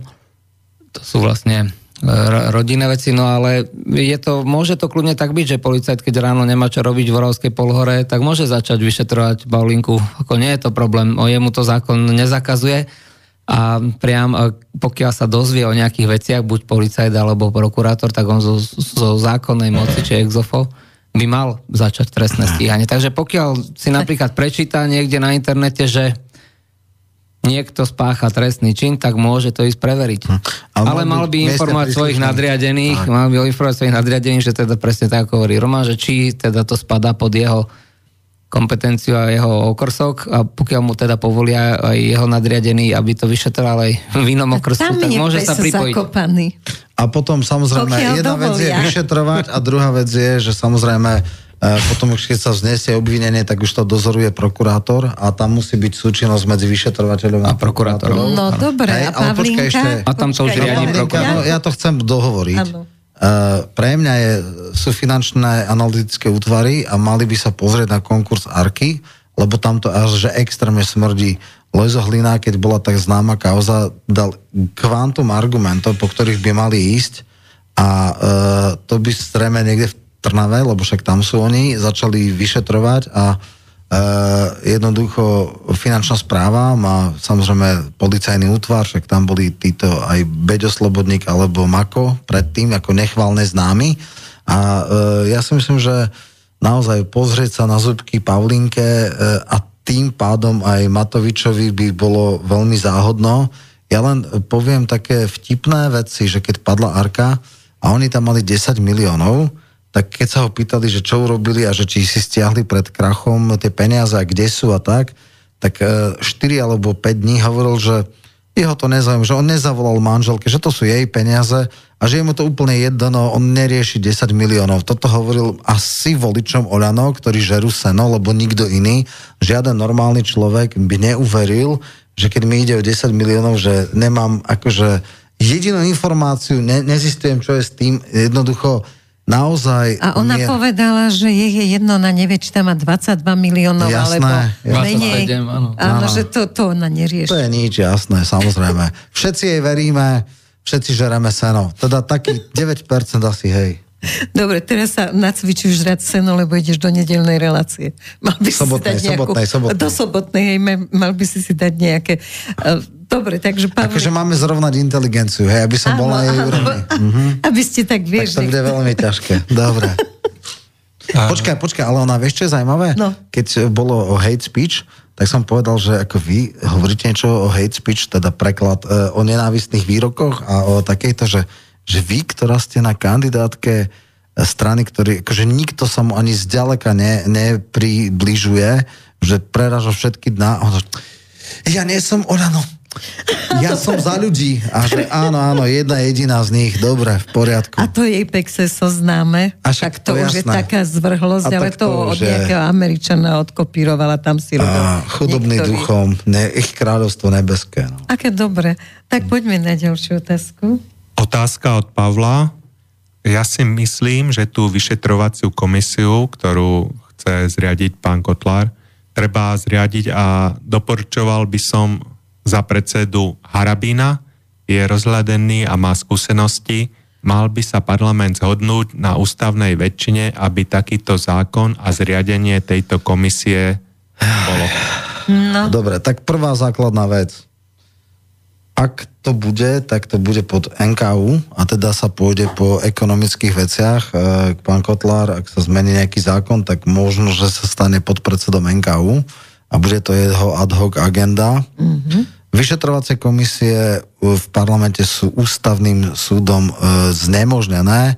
Keď e, Jaro Vol chcel vyšetrovať e, smrť Dubčeka, tak pokúsil sa zrieť tú komisiu a judikát ústavného súdu hovorí, že parlament nemá kompetencie robiť vyšetrovacie komisie. Sú štáty, kde je to bežné, v Spojených štátoch majú impeachmenty a tak ďalej. Takže určite na pôde parlamentu takáto vyšetrovacia komisia nebola. Aj to, čo bolo akože ohľadne Lučanského, bolo mimo parlament. Boli tam predstavitelia strán, ale nebolo to na pôde parlamentu. No a e, akože tým pádom Harabin asi nebude na čele, že by bol podpredseda NKU a to asi ťažko. No a e, e, ústavná väčšina, akože naozaj, akože pre Boha buďme normálni, kto nám dá ústavnú väčšinu, akože hádam si nemyslíte, že KDH by sa pridali k nám, to je ako kari, e, farizeja v KDH jedno jest, aj keď je pravda, že teraz je nová generácia, a nie sú až tak extrémni, ako bol, neviem, Minárik. Jediný relikt minulých čas tam je Mikloško a to je teda fakt, že iný údel. E, takže dávajme reálne otázky alebo majme reálne očakávania. Dobre, Lukáš, chceš sa k tomuto vyjadriť? No, myslím si, že parlament určite takúto komisiu nezriadi. Možno by mohla byť zriadená pri ministerstve spravodlivosti nejaká pracovná skupina, ktorá by združovala nejakých expertov, ktorí sa budú zaoberať určitými témami v rámci toho covidového manažmentu. Ale pokiaľ je tu takáto politická dohoda, že by bol zriadený špeciálne e, post podpredsedu Najvyššieho kontrolného úradu, Najvyšší kontrolný úrad aj z ústavy mu vyplývajú takéto možnosti, že môže v podstate vyšetrovať všetko, čo sa týka e, štátnej správy alebo rozhodnutí vo verejnom živote, tak tam by to myslím si, že celkom aj pasovalo a pokiaľ bude mať nejaké špeciálne kompetencie tento podpredseda Najvyššieho kontrolného úradu, že môže komunikovať teda naprieč, poviem príklad, rezort, rezortami alebo možno aj s poslancami alebo inými odborníkmi, tak je to úplne v poriadku. Dobre, momentálne je na internete veľmi zaujímavý Zoroslav Kolár, tam sa prihovára. Borisovi. Áno, sedemkrát Borisovi Kolárovi. Momentálne sa už prihovoril aj predsedovi, áno, predsedovi Sasky, vidím, že to sledujete. Uh-huh. A viacej tam priniesol už veľmi zaujímavých vecí, na ktoré dáva dôkazy ako videá a iné dôkazy. Však tuším, ak sa nemýlim, aj on je právnik. Prečo ano. sa tým nezaoberá? Áno, prečo sa tým nikto nezaoberá? Lebo generálny prokurátor by mal mať o, ako za úlohu aj z takýchto zdrojov čo sa týka teraz začatia trestných stíhaní exofo, tak na Slovensku to nemá nejakú veľkú tradíciu. Uh-huh. Napriek tomu, že máme tento inštitút zavedený, tak je málo prípadov, kedy naozaj z úradnej moci začali prokurátori sami od seba.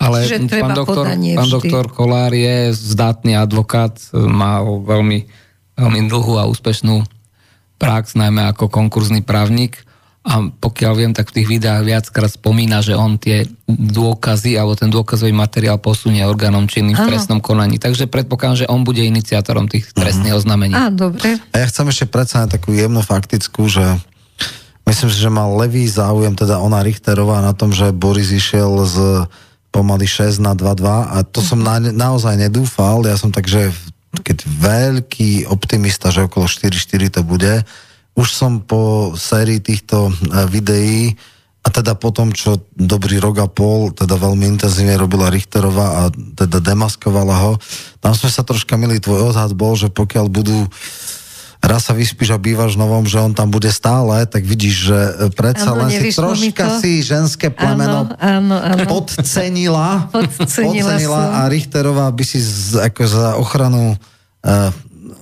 no, nechcem povedať, že zdravia parlamentu, ale keby Kolár tam bol, veľmi ťažko by sa skladala koalícia a boli by to ešte oveľa, oveľa väčšie kompromisy, ako sú teraz. Takže... Ale gratulujem k 17. dieťaťu. 16. som počul. Teraz je 17. 17. Teraz bor, ja to nestíham, tam... lebo keď Teraz začal volebné obdobie... Zoroslav Kolár práve aha, povedal, že všetci že si začínal mysleli, volebné obdobie že... s jedenáctimi, tak ano. teraz to išlo hopem. Je to teda. klobúk, klobúk dolu, no? Áno, a teda on, sa, on dával nejaké videá, akože v Dubaji a nachytali ho ľudia, že bol Možno aj v Dubaji má ešte nejaké 18. Nie, nebol v Dubaji, ale na Orave krstil svoje 17. dieťa. Aha, dobre. Takže to tam doniesol Zoroslav. Bulvárna zložka, hej. Ale on, on urobil, že 2-2. Ona Richterová, títo dva. Áno, áno, to sa im podarilo. Je to zaujímavý postreh, že žiadať o odvolanie ministra, keď ešte nemal... To sme vraveli už. Áno, ale že, že je to dôveru parlamentu, že je to rovnaké ako žiadať o rozvod pred svadbou. to je milé. Vtipné, vtipné. Áno, ale vysvetlila to nejaká poslankyňa za KDH, nepamätám si Hol, meno. Holečková si. Áno, ona to vysvetlila s tým, že? že oni to mali ako prípravu. Oni vedeli, že Aha. teda ešte sa nedá, ale pripravili sa na to, ja čiže tak. dali jasný Ale počkaj, PSK dalo návrh a PSK, hej, tak áno, tam sú áno, strana odborníkov. PSK dalo prípravný návrh. Áno, prípravný. To je zaujímavý, tento je, je zaujímavý. Nové pojem prípravný návrh. Že je to krásne. Roman, môžete v parlamente zaviesť nový pojem. Prípravný áno, návrh na odvolanie. Do, do, rokovaku to dáme.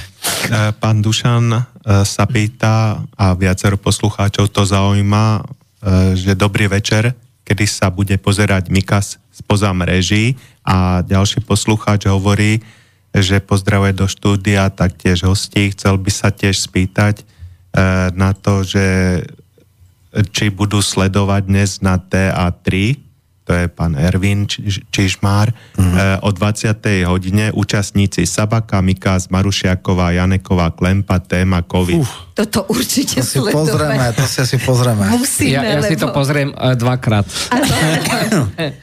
no Prvý a, a posledný. Toto je, ale vlastne... toto je presne tá moja otázka, že prečo keď takíto ľudia tam teraz budú rozprávať tie veci len z jediného pohľadu, že akým spôsobom sa dá nejaká vyváženosť dosiahnuť? No mal by byť podnet na radu pre mediálne služby, lebo mali by byť obe názory. Teda neviem, či tam zatiaľ, čo som počul Sabaka, Klempa a títo... To, to isté, to všetko, všetko rovnaké. Nebol tam nikto náhodou z druhej strany. Ne, nebol, je tu telefonát. Áno. no, ale už poprosím. Posledné, 3 minúty. Ešte môžeme, Áno, počujeme opäť. vás. Áno. Počujeme. Nech sa páči, my vás počujeme. Dobre. Stište si rádio, lebo počujeme tam ten zvuk. Stiahni rádio. Dobrý večer, pani Erika, pozdravujem vás aj vašich hostí. Ďakujeme. Poču, počúvam vás. Ja som bola s vami aj v Bratislave, ja som vám už volala aj toho 17. večera. Áno. Hovorí s pánom Mečiarom. Lebo ja to všetko sledujem, viete čo, od samej, samého začiatku revolúcie. Ja som už ako taká múdra kniha, ako Skúsenosti. Za, všetko si evidujem, všet, na všetko si pamätám. A toto, čo sa deje dneska, viete, spomínali ste aj, aj pána Kolára, aj Sulika. Ja som aj minule volala do Infovojny a povedala som toľko. Keby som si mala vybrať medzi dvomi politikmi a bol by to Kolár a Sulík, tak čo sa týka Slovenska, ekonomiky a toho všetkého, čo sa udialo, tak sto razy radšej by som volila toho kolára, aj keď je, aký je, čo, čo sa týka tých, tých žien, to je už ich problém, ako Sulíka, lebo Vidíte, ten, na toto ten, som vsadila. No. okýptil Slovensko neskutočne. Si zoberte teraz najnovšie, ja som zvedavá, či sa bude diať niečo s tým Slovalkom. Si zoberte, máme toľko automobilových podnikov, Čiže ten hliník je potrebný do každého toho podniku. Taká perfektná firma vybudovaná, ako sa hovorilo, že, že naj, najlukratívnejšia a najlepšie zabezpečená v Európe a toto dopustí Sulík a to, čo sa tie peniaze koľké stade vyviezli, keď už bola fabrika odstavená, dostávali dotácie na energiu, ktorá už nebola Máme potrebná. posledné tri to- minúty, tak čo Dokonca dáte, menej, menej. Ale však to O tom slovo slova- treba povedať. Toto Treba ma povedať. najviac trápi. Tak Dobre, Dobre, už aj vám dobre. pán odpovedia páni v štúdiu. Ja, ja len chcem povedať, že ja som robil aj špeciálnu reláciu o tom a to nebolo ani tak, že by Sulik to chcel odpaliť, ale jednoducho tam eh, duo uh, Matovič a Budaj sa spikli proti neho a nemohol dať uh, kompenzácie na ceny energie z toho environmentálneho fondu a tam stačilo 20 miliónov a oni by nezastavili výrobu. Teraz samozrejme, tuším, že Taraba chce, aby sa to rozbehlo. Samozrejme, že ten prístup ministra životného prostredia je úplne iný, než bol teda za Budaja. Ale chápeme, že tam je to veľmi citlivá téma, lebo hneď vybuchol internet, lebo samozrejme akcionárov Slovalko je Penta, ktorá nemá teda práve dobré veci, ale tam sa to musí tak nejak veľmi opatrné a e, silne vykomunikovať, aby to bolo, že nie, že to je podpora Penty, ale podpora tých ľudí automobilového priemyslu, čiže, čiže bez, tá, tam ide o to, aby bola tá, tá fabrika konkurencie schopná, aby vstupy, to znamená ceny energie, boli porovnateľné s konkurentmi. Ak to takto bude, môže fungovať, lebo technológie sú tam špičkové, je to environmentálne málo zaťažujúce, lebo naozaj tam nie sú to, to nie je ten z raných 90 kedy tam bola mŕtva dolina, alebo teda akože naozaj e, tie záťaže boli environmentálne obrovské. E, takže toto naozaj v tomto prípade by Solikovi bolo, bolo ubližené, lebo on dokonca takú absurditu povedal, že viete, že počkajte, že o rok, že však títo už odídu, že to už nebude a potom pre, prežite to nejak, viete, mám tu týchto dvoch trpákov, nemôžem s nimi nič urobiť, ale chcem urobiť čo ono. Za hlinikáreň, za to, ako skončila, môže dvojica Budaj a Matovič. Tak, dúfam, že, si, dúfam, že ste to zobrali ako dobrú odpoveď, takže ste sa zase troška poučili a to vy máte rada, takže budete mať ďalšie skúsenosti. No a myslíte si, že to bude stať veľa peniazy? Keď Uh, vtedy zase- to stále, ja si pamätám, lebo som o tom robil reláciu, tam bolo, že kompenzácia na cieny energii, lebo to je extrémne energeticky náročné, vyrába hliníka elektrolízov 20 miliónov. Teraz som niekde pustil e, informácie, ktoré sú asi hoaxy, že 120 miliónov, čo je podľa mňa obrovský problém.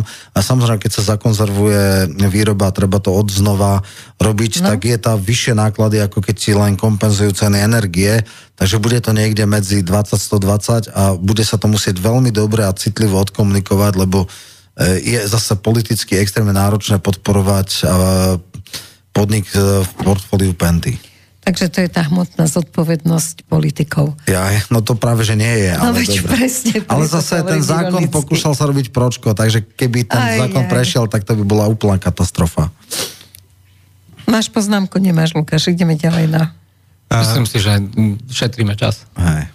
Tomu pánovi Mikasovi je tu ešte... Počkaj, ešte sme neodpovedali na pána Mikasa. Hej, ja by som ešte doplnil tu na, lebo to sa dá zlúčiť, Sa, hej. hej, že vlastne on zničil veľa životov, to sa tu píše, a veľa podnikov a že prečo sa nerobí nejaký tlak na ministerku zdravotníctva, ktorá ho môže jednoducho odvolať z funkcie. Zlá otázka, nie na dobrom mieste. Ani jeden z nás nie je hlasák a už vôbec nie je kamarát pani Dolinkovej, takže treba to tam uh, smerovať. Treba ju pozvať sem a tam jej môžete dať No. potom tú otázku, že prečo, Pozvi, ale... pozvi. Áno, tak jasná vec, len uh, myslím si, že zatiaľ Asi nepríde, čo? Áno, hlas povedal, že nebude chodiť ešte do alternatívnych médií, lebo to je, ako oni majú My budeme zakázané. radi chodiť do alternatívnych Áno, médií. a oni Počkajte, zase... ešte uh, Druckera som uh, mal rozhovor venku a on povedal, že či do Slobodného vysielača nie, ale do Aeroportu áno. Takže Áno. do Aeroportu by prišiel. No, rozumieš tomu? Teraz mi to vysvetlil, lebo aj ja viem túto informáciu. Áno. Akože... Tak Aeroport je taký niekde na pomedzi. No tak keby si bola kamarátka s Fedorom, tak...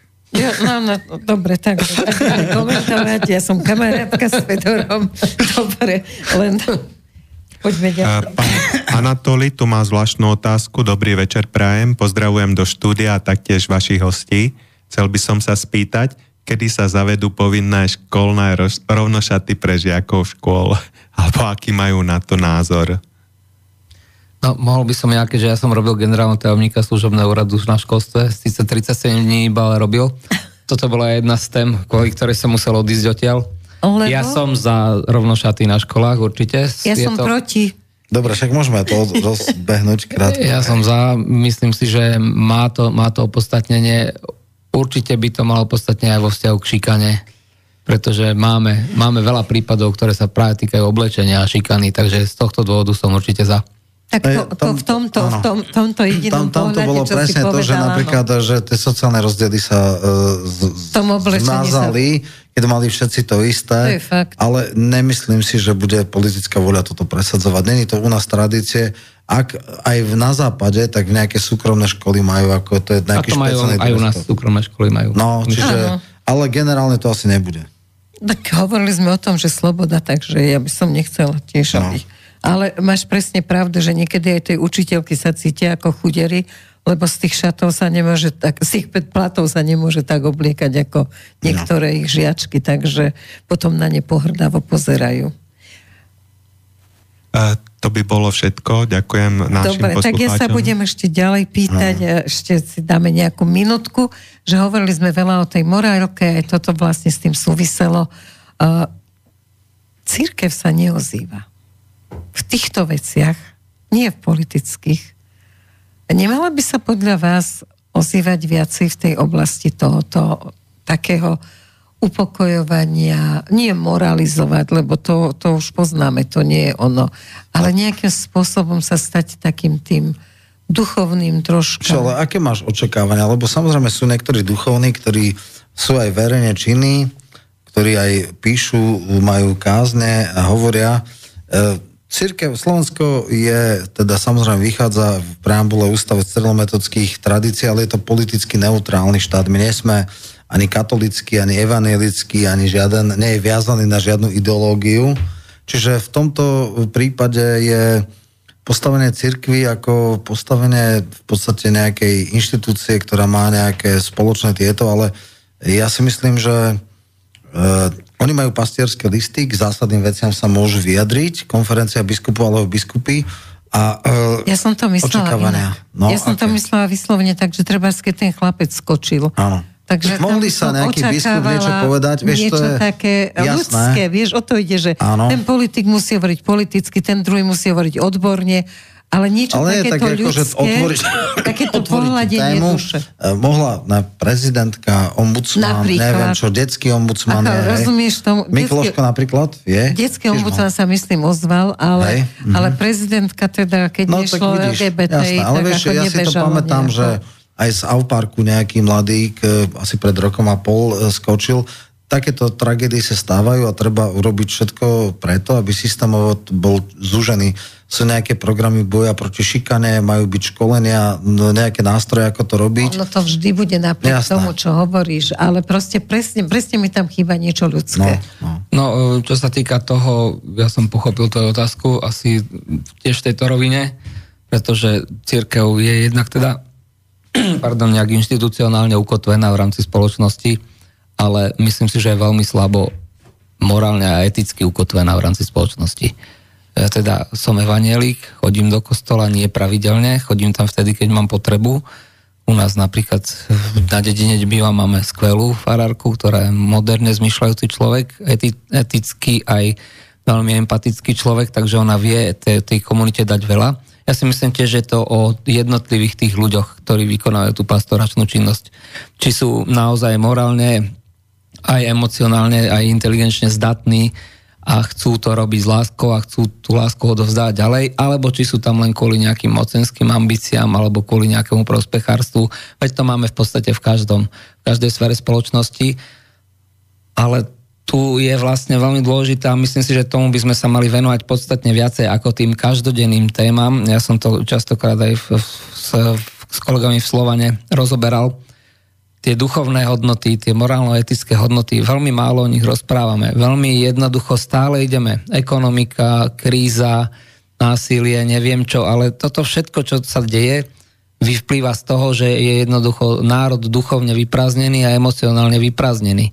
A toto by sme mali zaplniť. Myslím si, že toto bude aj úlohou ministerstva kultúry v podstate dať naspäť dušu tomuto národu vrátiť duchovno do tohto národa a kultúrnosť, prirodzene kultúrnosť, nie na silu, na silu, lebo to nikdy nefungovalo. Nájsť ten spôsob, bude to veľmi ťažké, lebo máme veľmi silných e, protivníkov, jednak teda v podobe nejakých zahraničných globalistických skupín a ich mocenských nástrojov, ktorými sú v prvom rade peniaze, a médiá, to sú veľmi silné nástroje, ktoré odputávajú ľudí v prvom rade od tej emócie, od toho dobra.